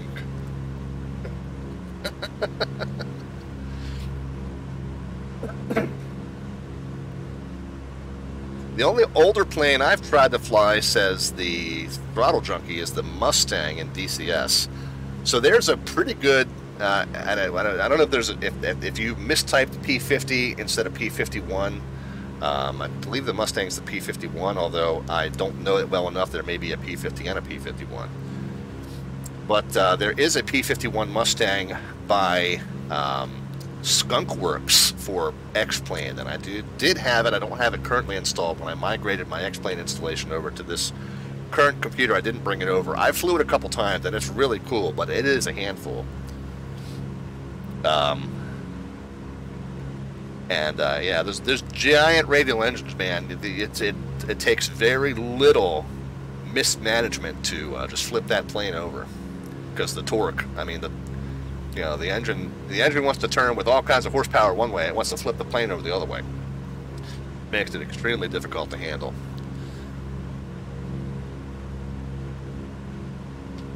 Wish says defective says that the uh, wish that the P47 for X-plane was as good as the P51. Yeah, and and uh, to to be honest, as I know, I know the 70s, 80s, and 90s military planes more than I know um, the, the, the older 40s and 50s variations of the military planes. Uh, I know I know the Wildcats, Hellcats, and Corsairs because, like I said, my grandfather flew them, so I knew a lot about those. Um, but uh, but yeah, military flying. As much as I am definitely a military supporter and a Navy supporter and a military aviation enthusiast, and I love to go see the Blue Angels and even the Thunderbirds perform uh, when I get the opportunity. Um, I don't keep up with. I haven't kept up with with um, all of the, the library of military aircraft out there, so I, I know civilian aircraft much better than I know uh, um, military aircraft. But yeah, I did fly that Mustang, that P-51 Mustang on stream a couple times, and it's fun. It's just uh, it, it takes a lot more to learn to fly well than I was able to give it. And says uh, defective says one of my grandfathers was on the B-26. He didn't said he didn't much care for it. yeah, lots of right rudder and lots of pulling back on the stick to uh, keep keep the uh, yeah you gotta keep that tail wheel dug into the ground uh, to keep tracking forward. So.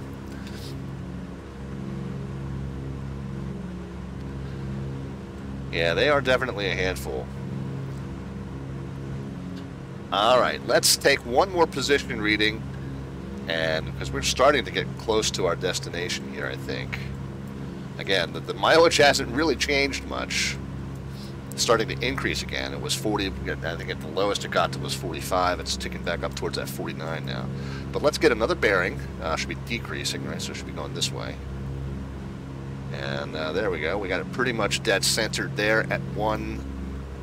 Uh, well, it's 210, 200, so one, 198 and 47. We'll call it 198 and 48 because it's increasing. I'll tell you what, we'll call it 190, 197 and 48.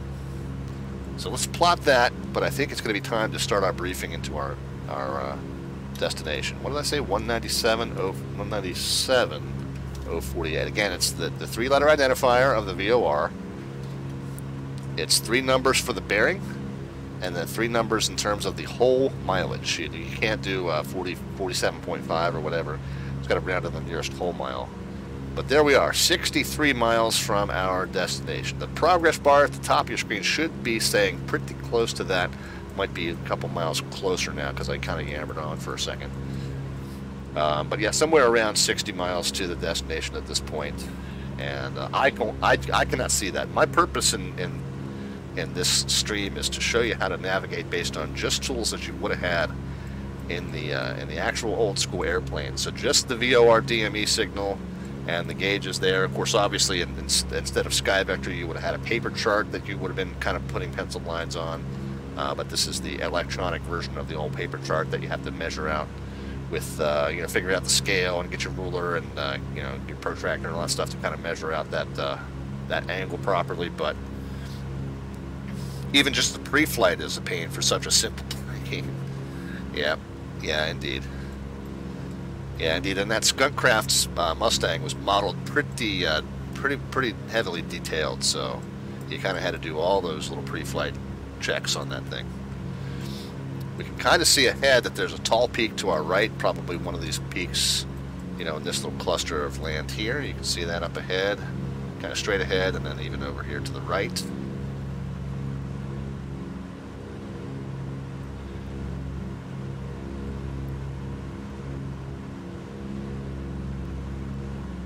And, uh,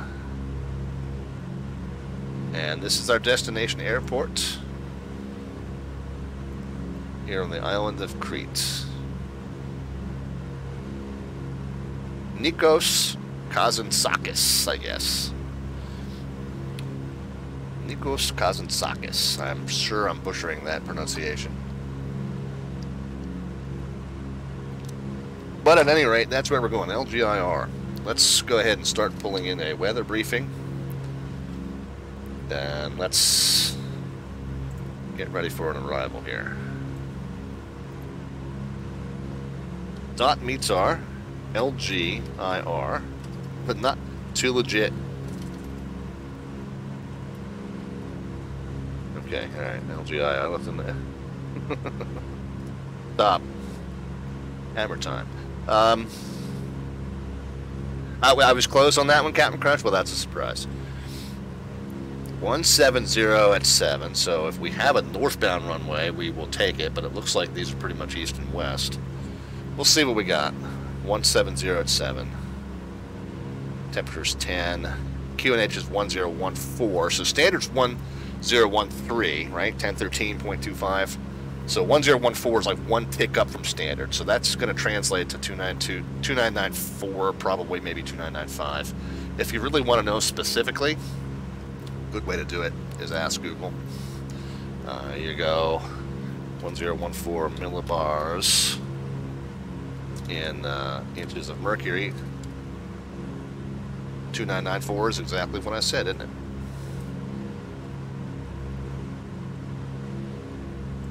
So we'll set that down here. The Douglas does not have a uh, dual readout there, so you have to kind of do the conversion.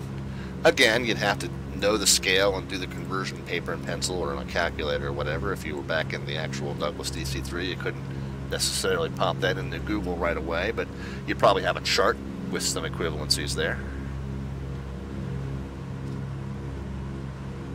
One of these panels might even have it, actually. Yeah, anyway. Anyway, you'd have you'd have some sort of reference in the cockpit for making that conversion, other than Google. Actually, I think uh, I think this Air Force E6B that uh,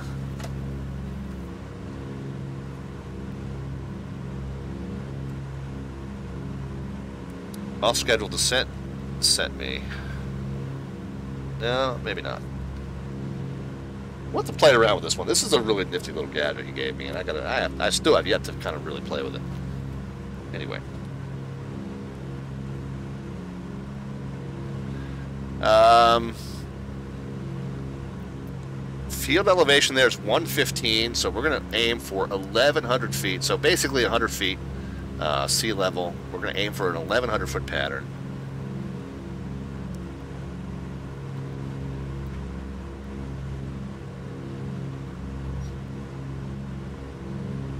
And we're at 2,500 feet now, so we really don't have that much to descend anyway.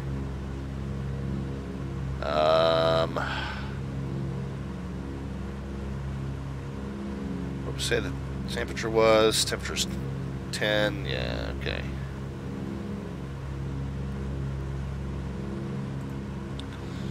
Cloud cover, few clouds at 2,500. So we do we do have, you know, some clouds to contend with. We'll see. We'll, we will we'll, by the time we get up onto the clouds, we can drop below them because again, we're going to be heading down toward pattern altitude by that point. So hopefully we'll be okay. And uh, wind coming from the south. So LGIR, right? Is that what we said? Or Navigraph charts. LGIR.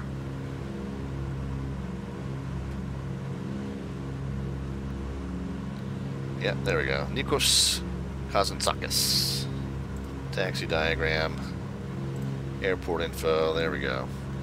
Alright, so we got a uh, we got a 9 and 2 7 and we got a 12 and 30.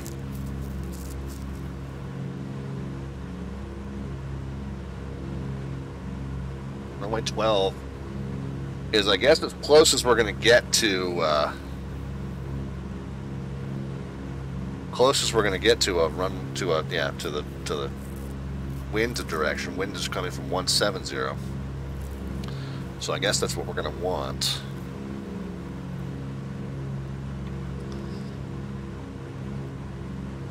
We don't really have a, a really good pattern entry. If we were going to do a full pattern, you know, full pattern would be like this, and we'd come in from the east. We might, well, we could come, we could come up the coast, and then do a left downwind, 45, and then left downwind. Yeah, well, maybe we'll do that. We'll shoot to come up from the coast, from the, uh, from further out here. That's what we'll do.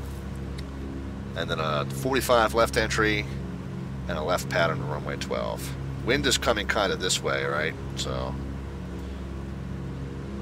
a little bit of a right to left crosswind. Seven knots, so the crosswind component's not going to be that high. Two sevens, a nice approach. Yeah, I, I mean, I think we're going to be coming from that way, Captain Crunch, but the, with the wind is 170. So that'll be kind of a bang on crosswind for 27. Um, So I think we're going to end up on 12. We'll, we'll, we'll plan on 12. But we'll, we'll head further up the coast and then we'll kind of enter a enter a 45 there. Um, do we have on this? Uh, well, let's let's look and see.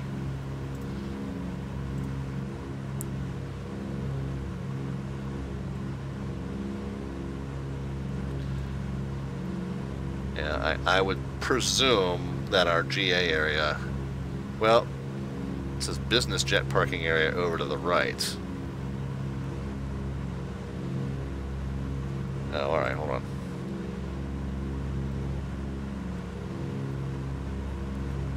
Light aircraft parking. Yeah, I think I think we'll we'll uh, we'll do our just we'll just do a VIP type thing. We'll park in this area here to the east of the terminal. I think more properly we might park in this area, but we'll come over here. We'll, we'll, we'll anoint ourselves VIPs and we'll park in this area just to the east of the terminal. So, uh, taxi plan for that. If we land on runway 12, we want to kind of run across the crossing runway, probably make it off at Foxtrot and in. That's that's my uh, that's my guess. If we're able to get down early, we can get off at uh, Echo and go come kind of straight there. And if we go really late, what we do is we either have to make the left there or the left all the way at the end and then come across. So we got a handful of taxi plans. My, my, my gut tells me we're off at Foxtrot. Uh, but if we can get down and stopped in a, in a much more reasonable amount of time for a Douglas, then I think we're off at Echo and then right in to our parking area. That'll be the plan. It says if you're flying in a DC-3, I'd say that's more than enough card, more than enough cred to be considered VIP. Well, hopefully you're right. Uh, we do have an NDB here at the at the airport 431. So, I mean, we kind of know it's we're really going to be able to kind of see, I think, an approach from the east. But uh, just as a cross-reference, I think let's go ahead and tune that 431. No, nothing? Nada? That's two NDBs tonight that hasn't haven't worked. The NDB radio on.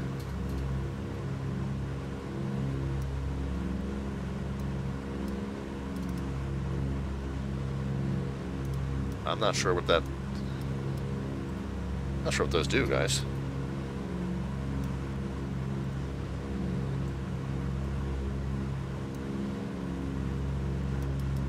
I don't think I've ever turned. I don't think I've ever turned that knob. But in any case, we've got 4312, and then it's not picking up anything in any of those four positions. I mean, obviously the one says off, but you know.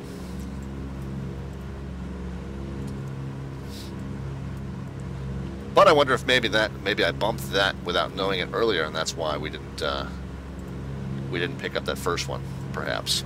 All right, well we'll keep an eye on that. Let's go ahead and take a position reading from the VOR as we have been. We know we got we know we got to be getting close. We can see land up here, but let's let's see how close. Uh, bearing to station now is, or bearing from station, I should say, right? 170 on the nose, or is that a 171? Guess that'd be a 170. So this is a 171. And 171 and 67. So let's kind of see where that puts us. MIL 171067. So there we are, 30 miles out. So if we see all this rocky stuff to our right, it's going to be in a kind of a uh, kind of a little harbor area, kind of hidden behind it.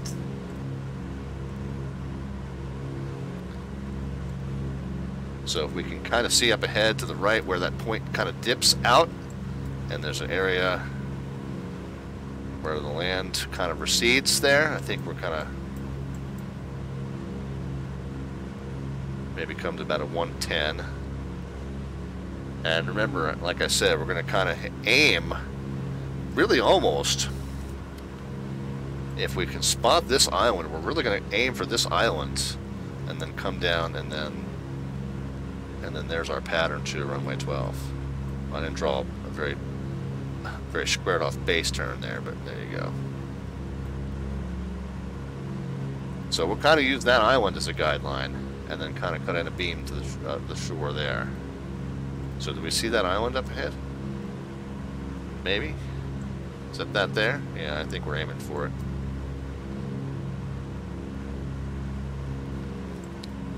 Wheel rig.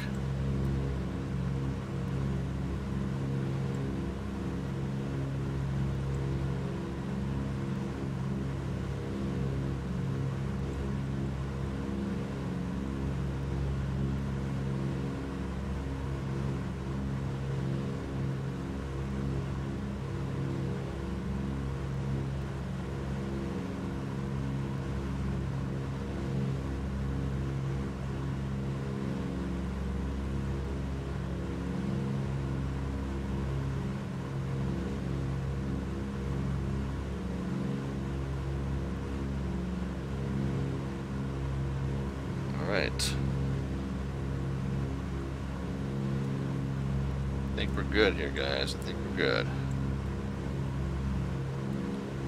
So if we were from where we last plotted that on the to the corner of that island on a 110 and 28 miles, so about 10 minutes, and I think we are pretty much on a 110. Yeah, magnetically we're on about uh, maybe a 109 and a half there. So let's sync these up.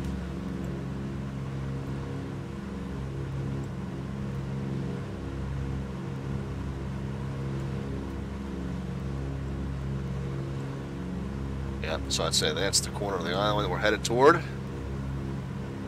And then so our runway should be in. We might even be able to see the airport there vaguely as it uh, vaguely as it may be, but we'll we'll cut in.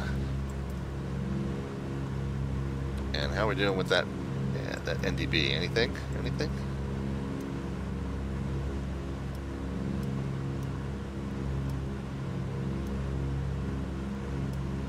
Nothing. Maybe it's broken. Maybe I broke it. Probably broke it on that first landing.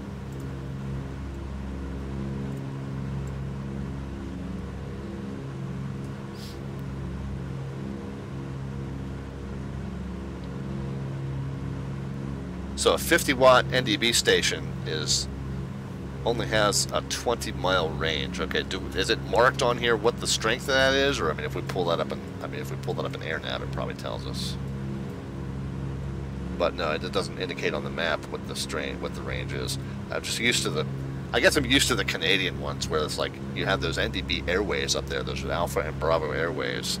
Alaska has a bunch too, and you can you can reach those things much further than you can a uh, VOR, a couple hundred miles. So I guess I'm used to used to that. But yeah, so so X-Plane does model a lot of these NDBs, and we found in uh, southern Greenland as well a bunch of NDBs that we can only pick up for, you know, like like Quala says, a few dozen miles at best. But again, at this point, I, I don't know. I'll have to check next time I load this this plane up to see what position this uh, this knob boots in because I have no idea.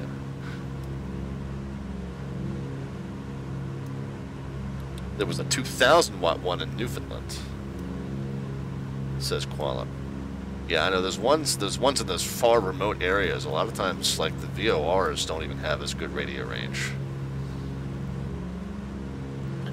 Uh, so once we hit the corner of this island, we're six miles from shore, and again, we're going to actually go down further, maybe from the end of the island. So let's let's modify this path a little bit from the end of the island,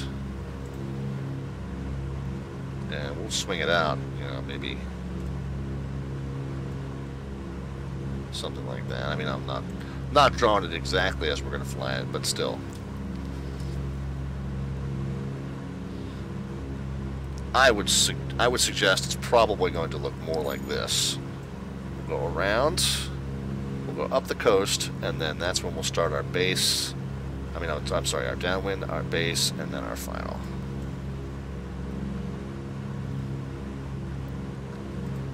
And the, the downwind and base I've drawn a little bit more distant than I actually intend to fly them.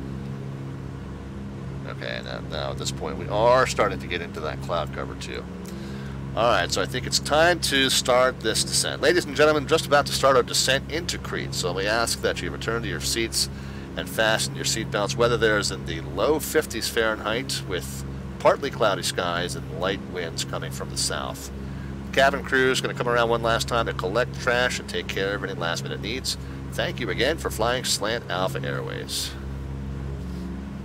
Throttle Junkie asks, why not just a straight shot into the runway?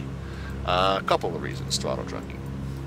Um, number one, if this was a, well, of course, this is a really a towered field, so we really probably would get a straight in approach if we were coming in VFR.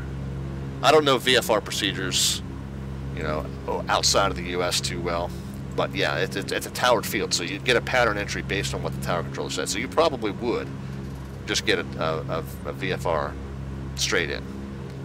Um, number one, I don't know that I have a good distance reference, so I'm going to have, uh, I would struggle to kind of set up um, set up the right altitude. I don't have a good sight picture of it yet, so I don't know exactly where I am as far as lined up with the runway. I don't know if there's an instrument approach to runway 12, but uh, I'm doing this VFR, so uh, I, I don't just I don't have a good visual way from this distance and not being familiar with the airport and the surrounding landmarks. I don't have a good visual way. Oh, there we are. There's our NDB a good visual way to set myself up on a, on a straight in, lined up, and at the appropriate altitude. So I'm going to do kind of a little flyby of it to just get myself established, get get myself down to a pattern altitude, get a good visual reference to the uh, downwind, see the threshold, you know, set up on a, on a, on a good base and final turn, and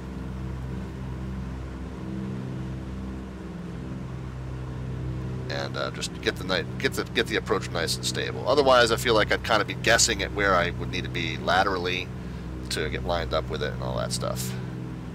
There probably are some instrument approaches, and if we were doing this as IFR flight, then uh, I would be probably working on one of those right now.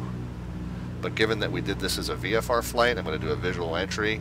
I think just doing that little extra flyby gives you a sense of you know, getting lined up with it, getting set up uh, at a good distance and a good altitude.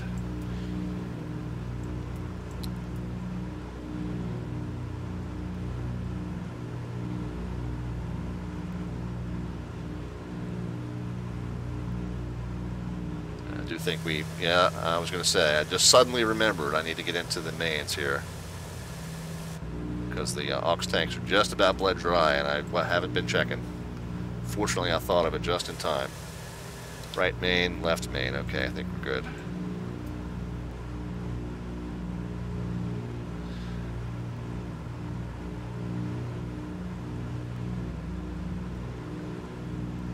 Gotta get the seatbelt signs on.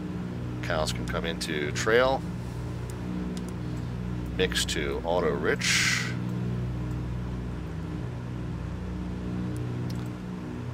Radio altimeter set to 10x, which I think it already is. Yeah, it is. Tail wheel checked locked, it is. And fuel pumps can come on.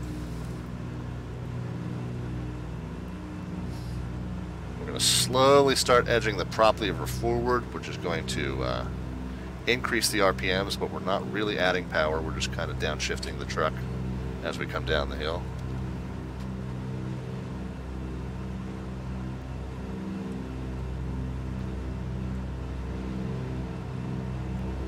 So I know it's off.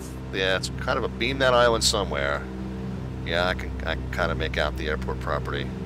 So it's there, and I think in order to get myself nice and lined up for a approach to runway 12, I think we'll come in from the east, like I said.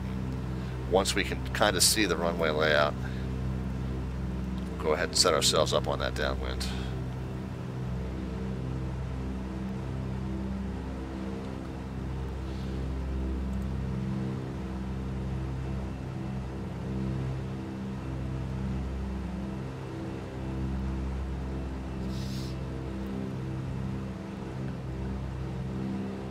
Kazantzakis traffic, Douglas 514 Delta Victor is about six miles north. We're going to be circling to the east and joining a 45 to left downwind runway 12, Kazantzakis.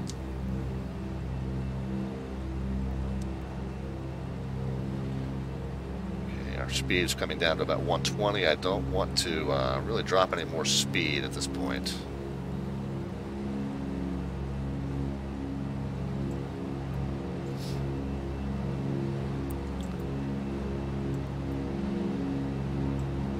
Know the airport's over there, we can kind of let's kind of aim for the little town, the little village there, as our point to join the shore. Sim Caesar is with The us. Sim Caesar. spirit? As what, sir? Spirit? Yes, he did, sir. Hello. Spirit, sir. Bravado, a touch of knowing do. Oh, uh, about 11, sir.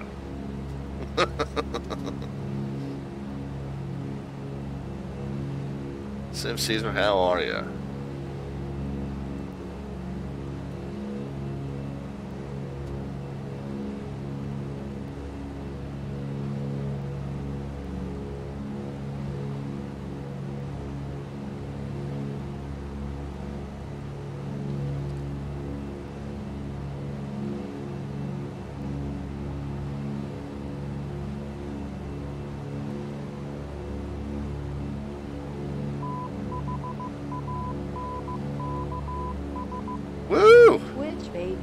Got our Twitch baby, nine months.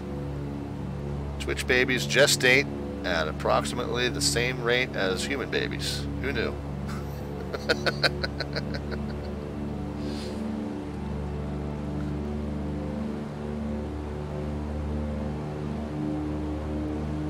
Slowly getting the uh, prop lever forward. We do need to add some power. We do want to keep, well, we got about 110 knots. Don't I don't want to get much slower than 120 at this point. We're a little far out.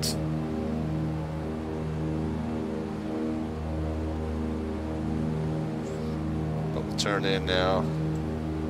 Come up the coast. Uh, picked up some altitude again, so let's get back down. We might get back down to about 1100, about 120 knots. Come up the coast. We'll join our uh, join our left downwind of runway one two. I'll tell you what, I'm going to do a real quick rebrief of the METAR just to make sure it hasn't changed significantly. GIR.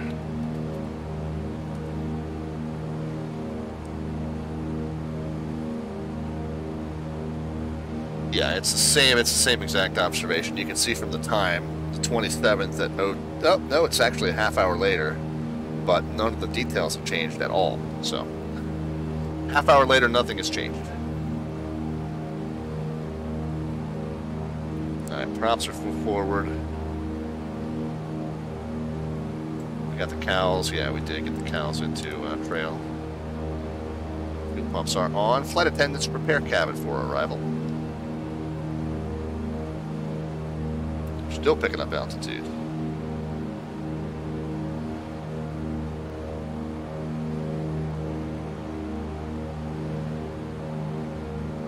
Hey, Brendan's going to start the prediction train here. You guys, yeah, you guys can start putting your predictions in. You do not need a bot command that just tells the, the furry co-pilot to respond. So no bot command is necessary. We're just looking for a number into the chat, positive or negative. We know that you mean a descent rate. Either way.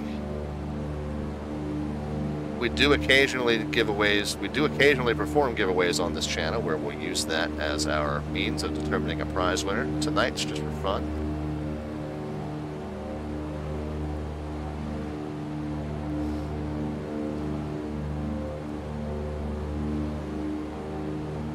I Still need to get a little bit of a descent in. So now we got a nice straight in for runway 27 going. But with the wind coming 1-7, we are going to get up closer to the field. We'll, we'll turn to a uh,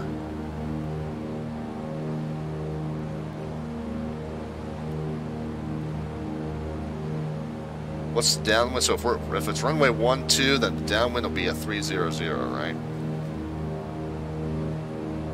There's 1,100 feet, so let's level it out.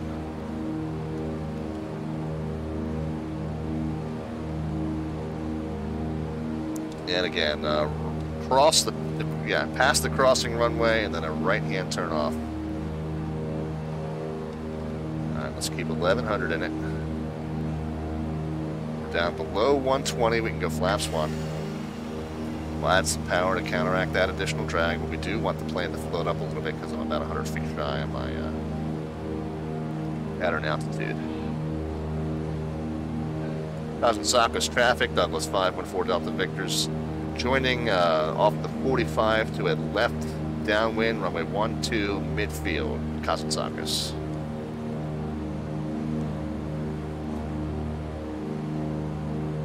So I said, uh, I said 12 would be, a downwind for 12 would be 3-0, but it, I, I, feel like, uh, yeah, okay, maybe I did overturn it just a little bit.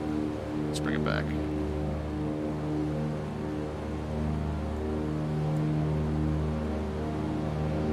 There's there's more of a parallel downwind heading, maybe about a 3-1 here. I don't know if the, if everything is just slightly out of sync or what the runway headings are here, but uh, I feel like this is about maybe a 3-1-5. I feel like this is about a downwind heading here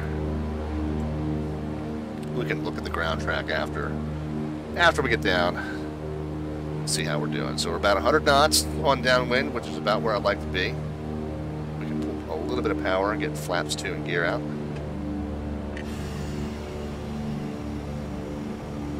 still want to keep about 1100 and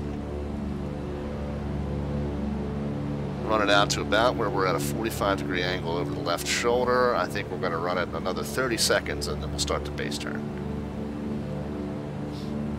Won't be descending yet.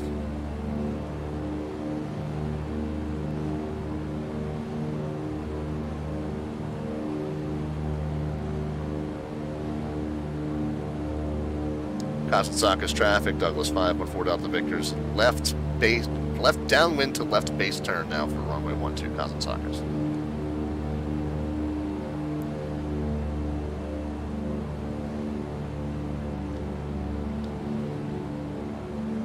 Alright, 90 knots, go ahead and get flaps 3 in, put some more power in, trim it down counteract the extra lift, power in to counteract the extra drag. If we were at a 3-1, we're going to turn it to about a 2-2. That'll be our base heading.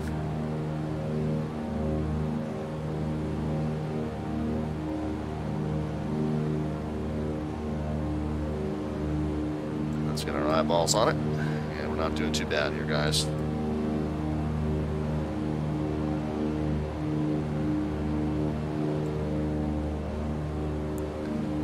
Last call for those predictions, guys, as I make my turn now. It flaps four. let the extra drag slow us down. We might add a touch of power in.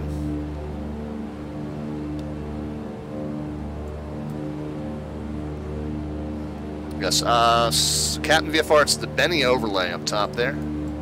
And it's a plug-in, a landing rate Lua plug-in that's going to come up at the bottom right.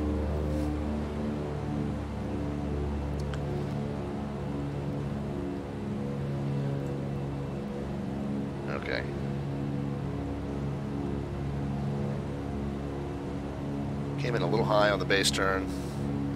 I think we're okay now, though. And again, 170, so it's going to be pushing us to the left. So we're going to put the nose over to the right.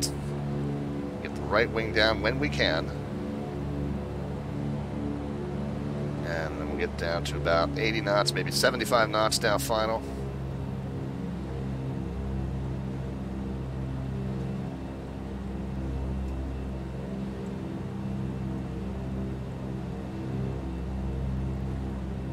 70 over the numbers. I'm a little fast here, so we might float it. Maybe I can get the speed under control here before we get uh, too much further.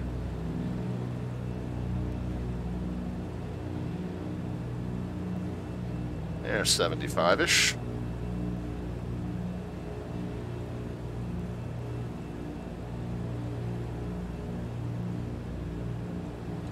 Runway's a lot flatter here than the first one we landed on, huh? And 70 over the numbers.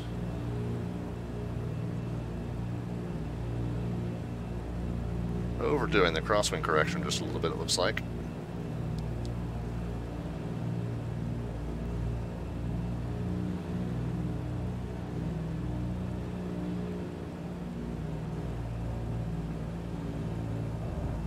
One thirty-three. We'll take it.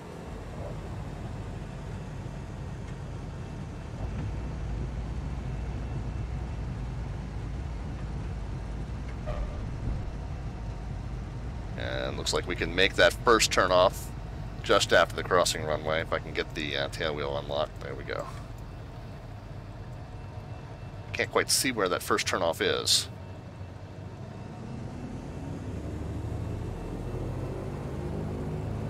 It's a little further up. Okay, I see, I see, I see. I see. Well, I can't tell now if that was Echo. The Echo, I think, was right at the, right at the intersection, so this might indeed still be Foxtrot that we're turning off on. Yeah, so I think we did. I think we did indeed turn off at Foxtrot. So we'll turn back towards the terminal. So that worked out more or less like I called it, yeah? What's that say? I think. I think it's going to be Foxtrot. Yep, it was indeed Foxtrot. Okay, flaps can be stowed. Anti-collision. Landing lights off, taxi light on. Pitot heat off, fuel pumps off. Hell's open.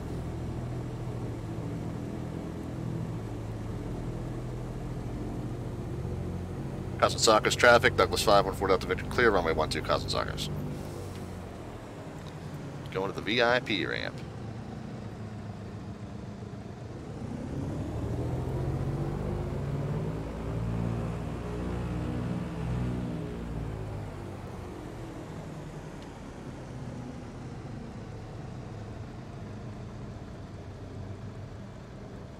That? Nope, not Price is Right rules, man. It's not closest without going over. It's simply closest. Do I look like Drew Carey to you?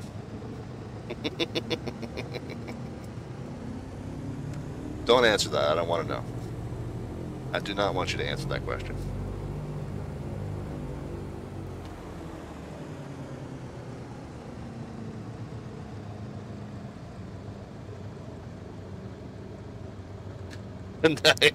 no, no, I don't. See, George, no, I don't.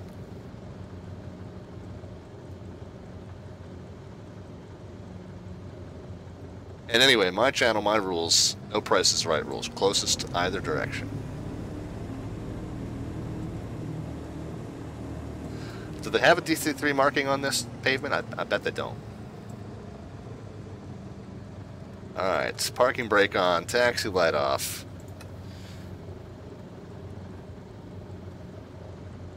Tail wheel can be relocked. Go ahead and just run through the shutdown procedure real quick, and then we'll catch up with those predictions. Transponder can, uh, yeah, transponder's already on on uh, uh, VFR, so we'll just shut it off. Go ahead and get the uh, mix magnetos and um, generators off. Seatbelt signs can come off. You guys can start piling out. We'll get the doors open for you. We'll get the trim reset. And we'll check on the fuel and ETA. So the ETA was supposed to be 11 o'clock, but we we got off 11. We got off a half an hour late, so we thought 11:30. Uh, but we're still about 15 minutes late. So I think we took not quite a direct path. We kind of wandered in. Uh, we did, yeah, we did more of a curved path than a than a direct path. So I think it did wind up taking us a little bit longer. We'll check the ground track on that and see how we uh, see how we did. But there we go, guys. The prop and uh, throttle levers can now come down. The uh, radio master and inverter can come off. No smoking beacon and nav lights can come off. Fuel tanks. Go back to off there. And off there. Cowl flaps closed. And there they are. And the master battery switch off. And uh, I think we are done, guys. You guys are continuing to plow out of the aircraft. We'll go ahead and go ahead and close up the doors. We are going to watch the landing replay there, so uh, we'll close the doors up so we can kind of see how that. There's a little bit of a long walk. This is not quite the VIP spot that I thought it was. I didn't do too bad a job on the parking. Um, not quite the VIP spot that I thought it was. You guys have a little bit of a long walk to the terminal. I do apologize for that. So, uh, especially after that first landing, you guys probably still shaking a little bit. So, uh, yeah, I, I, I could have gotten you a little closer to the terminal. All right. Well, let's see. How did we, how do we do with the, with the predictions?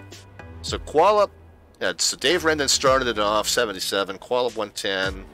OBFG always kind of lurks in there at the last second with a 90. He said 420. Maddie didn't have. Maddie either is a uh, is is a um, is a questionably legal substance enthusiast, or just really didn't have any faith in me. 420 was what he put in. 165 said Throttle Junkie. That's actually pretty close there. Speed Nut went 68. C George 99. 139 said Captain VFR. 128 went both Smitty and JK back to back. And 129, not JK, went one closer. Vaporizer Wizard stopped in. Vaporizer Wizard, how are you? Appreciate you being here. And uh, put a 110 in. And uh, yeah, so what was the um, what was the actual? Was it was it indeed 139? So I think VFR, Captain VFR, was either right on it or extremely uh, close. Very cool.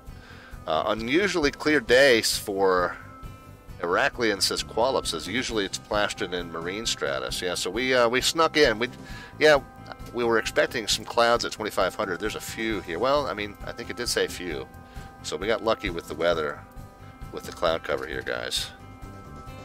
Speednut says uh, still working, so whatever it is, you're in a better spot than I am at the moment. Indeed, great. So Dave, uh, Dave said great flight and landing. Yeah, thank you so much for that, guys. We'll uh, uh, Maddie's got to check out. Yeah, we'll check the replay out of the uh, of the landing, see how we did. Um, that's going to automatically disconnect us from um, X Pilot, so we'll go ahead and shut X Pilot off.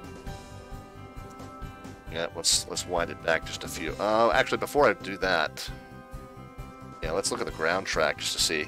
Okay, so that yeah, I mean that that pattern wasn't eh, it wasn't quite squared off on the the base to final turn. I did that a little early but uh, that didn't work out too bad. But yeah, I think we did. Oh, we flew right over an aircraft carrier, I didn't even see it. Um, but we did kind of come down the coast a little bit more in a curved path. You can see here the plots that we put in from the VOR. So I definitely took a longer path to this run to this airport than I uh, planned on. So anyway, no worries. We got here, and uh, we are here now, and we had a good time. I think. Let's let's uh, let's check the landing out, guys.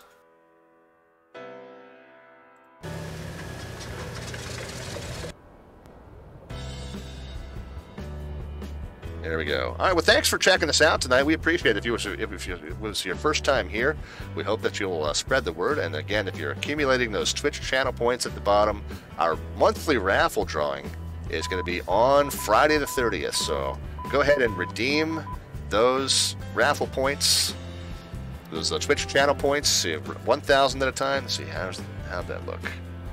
Yeah, minor, minor little, yeah, little Douglas bounce. I mean, that's kind of SOP right there for the Douglas, right? Yeah, I thought so. I was very happy with it, to be to be honest. Yeah, and so Echo was indeed right there where the runways intersected. I think I could have slammed the brakes and made that, but um, but rolling it down to Foxtrot was certainly the way easier way to go with that. But yeah, that worked out pretty well. We can uh, roll it back one more time and, uh, and see it from the flyover view in just a second here. We got follows there at the last moment from None Shall Pass, Big D. Gotta love it. None Shall Pass. None Shall Pass. And we got follow there from Seb- Sebastia is with us as well. Yeah, so as you accumulate those Twitch channel points, don't forget to cash those in for uh, your monthly raffle. We'll make that drawing on Friday. 1,000 Twitch channel points, alphabet points gets you one entry in, and 5,000 gets you five entries in. You got all kinds of Slant Alpha merch you can choose from, or you can pick the uh, $25 Amazon or xplane.org store gift card if you don't want any of my crap, which is fine. Uh, all of that stuff possible because of the support that you guys give the channel in, in terms of your subscriptions and your donations and your cheers and your uh, merchandise sales. This, uh, this is stuff. This is Redbubble stuff. This is not the same stuff as what's in the prize vault. But the Redbubble stuff there is uh, exclamation point merch if you want to check any of that stuff out, and that helps us support the channel as well. Um, we've got our our social media, our Twitter and our Facebook links at the bottom of the screen there. You can uh, follow us if you want to see what's coming up in the short term. If you want to see the full show schedule, what's down there underneath the About tab on the Twitch picture window, or it's over on our Facebook and it's over on our Discord server as well. You can join the Discord and uh, join the chat 24 7, and uh, appreciate having you in there as well if you would like. And then the YouTube channel over there on the far left has um, has our old flight broadcasts, but I've also put in there's some tutorials in a playlist called uh, VATSIM tutorials. I cleaned up the playlist for tutorials just last night, by the way. The VATSIM tutorials are now in their own channel. Um, or their playlist rather. The Wings over New England flights for the Boston Virtual ARTCC, they are in their own playlist. And then I've got uh, the aircraft specific tutorials in their own playlist. So we've got three separate playlists now for tutorials. Uh, but the ones where you can check out to see what you say to air traffic controllers or how you put together IFR routing or VFR routing, um, or what these slant codes mean slant alpha, slant whiskey, the stuff you know we talk about on the channel from time to time. That stuff is all in a playlist now called That VATSIM tutorials. So you can certainly check that out. Flying High checking us out again at the uh, last moment. Let's wind this back and watch the landing one more time, guys. One more time. And let's see if we can get that. Where's that Melvin Leroy flyover view? No, that's not it. That one? Great tutorial, says Smitty. Thank you so much. Glad that you've made good use of it, man.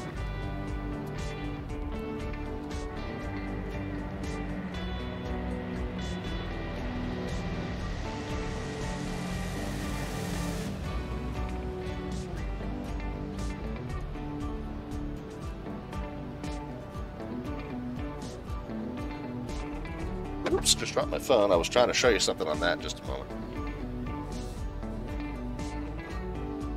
Yeah, so I, I think I was overdoing the crosswind correction. Um, we got that sorted out at the last minute. How was the center line adherence here? I think by the time I got it sorted out, yeah, it wasn't too bad. Nice straddled the, yeah, straddled the line. A little bit of a minor bounce, but that's kind of normal with the Douglas and really with a lot of, almost any tail dragger. One more flight and I'll gift three subs. Yeah, we got to call it. We call it a night, man. It's almost midnight Eastern time. I do appreciate that flying high, though. I, I appreciate your uh, your offer of support. All right. The uh, last thing I want to mention, and I've, as I've covered uh, everything there at the bottom of the screen, I, I do want to mention that we're a uh, media partner for Flight Sim Expo, which is uh, September 24th to 26th at the Town and Country Resort in San Diego, California and I am attending in person, God willing, and uh, the, what's the what's, what's the thing? God willing, and the flood don't.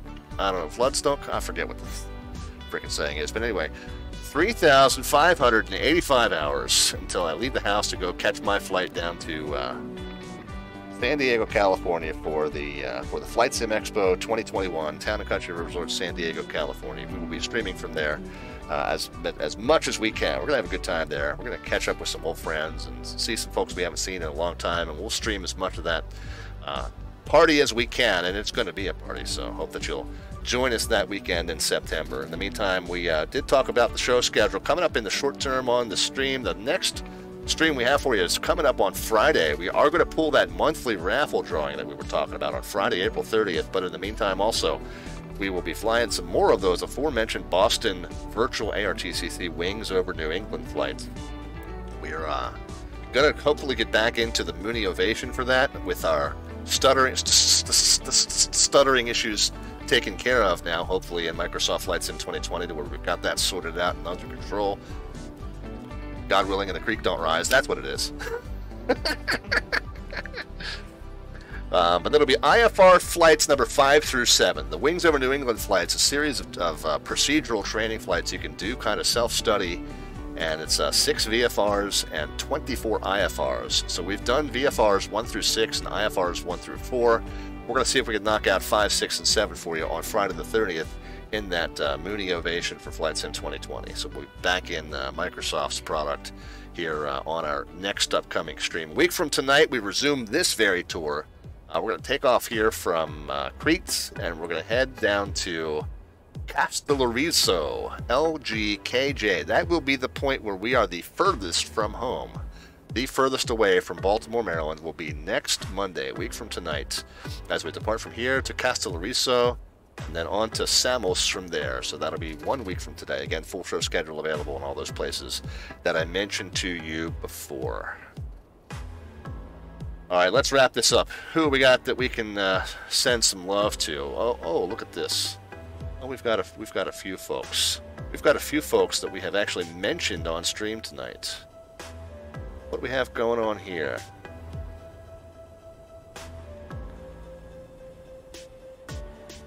Okay, yeah, we've got our friend Northwest Orient is up streaming. He's he streams so rarely, but uh, he's always fun to watch, and he's like I said, lover of all things vintage. So, um, you know, definitely a friend of the channel, and he's the author of that beautiful custom livery that you saw in that Douglas DC-3 just there moments ago. So we will send you over to him. He's flying uh, the Concorde. He's going from Halifax to Rome. And so we'll go ahead and dump you over to his stream, and you can watch the rest of his flight as he continues. And like I said, please tell him that we said hello, a dear friend of the stream, and hope that you'll enjoy his content as well, flying in that uh, flying in that Concorde. Looks like he's about three quarters of the way there, so we'll catch him in time for descent and arrival. All right, guys, thanks again. We appreciate you being here. Hope that you have a great rest of your week. We will see you Friday from Boston. In the meantime, be healthy and safe in your own travels and your own adventures, and we'll catch you on the next one, guys.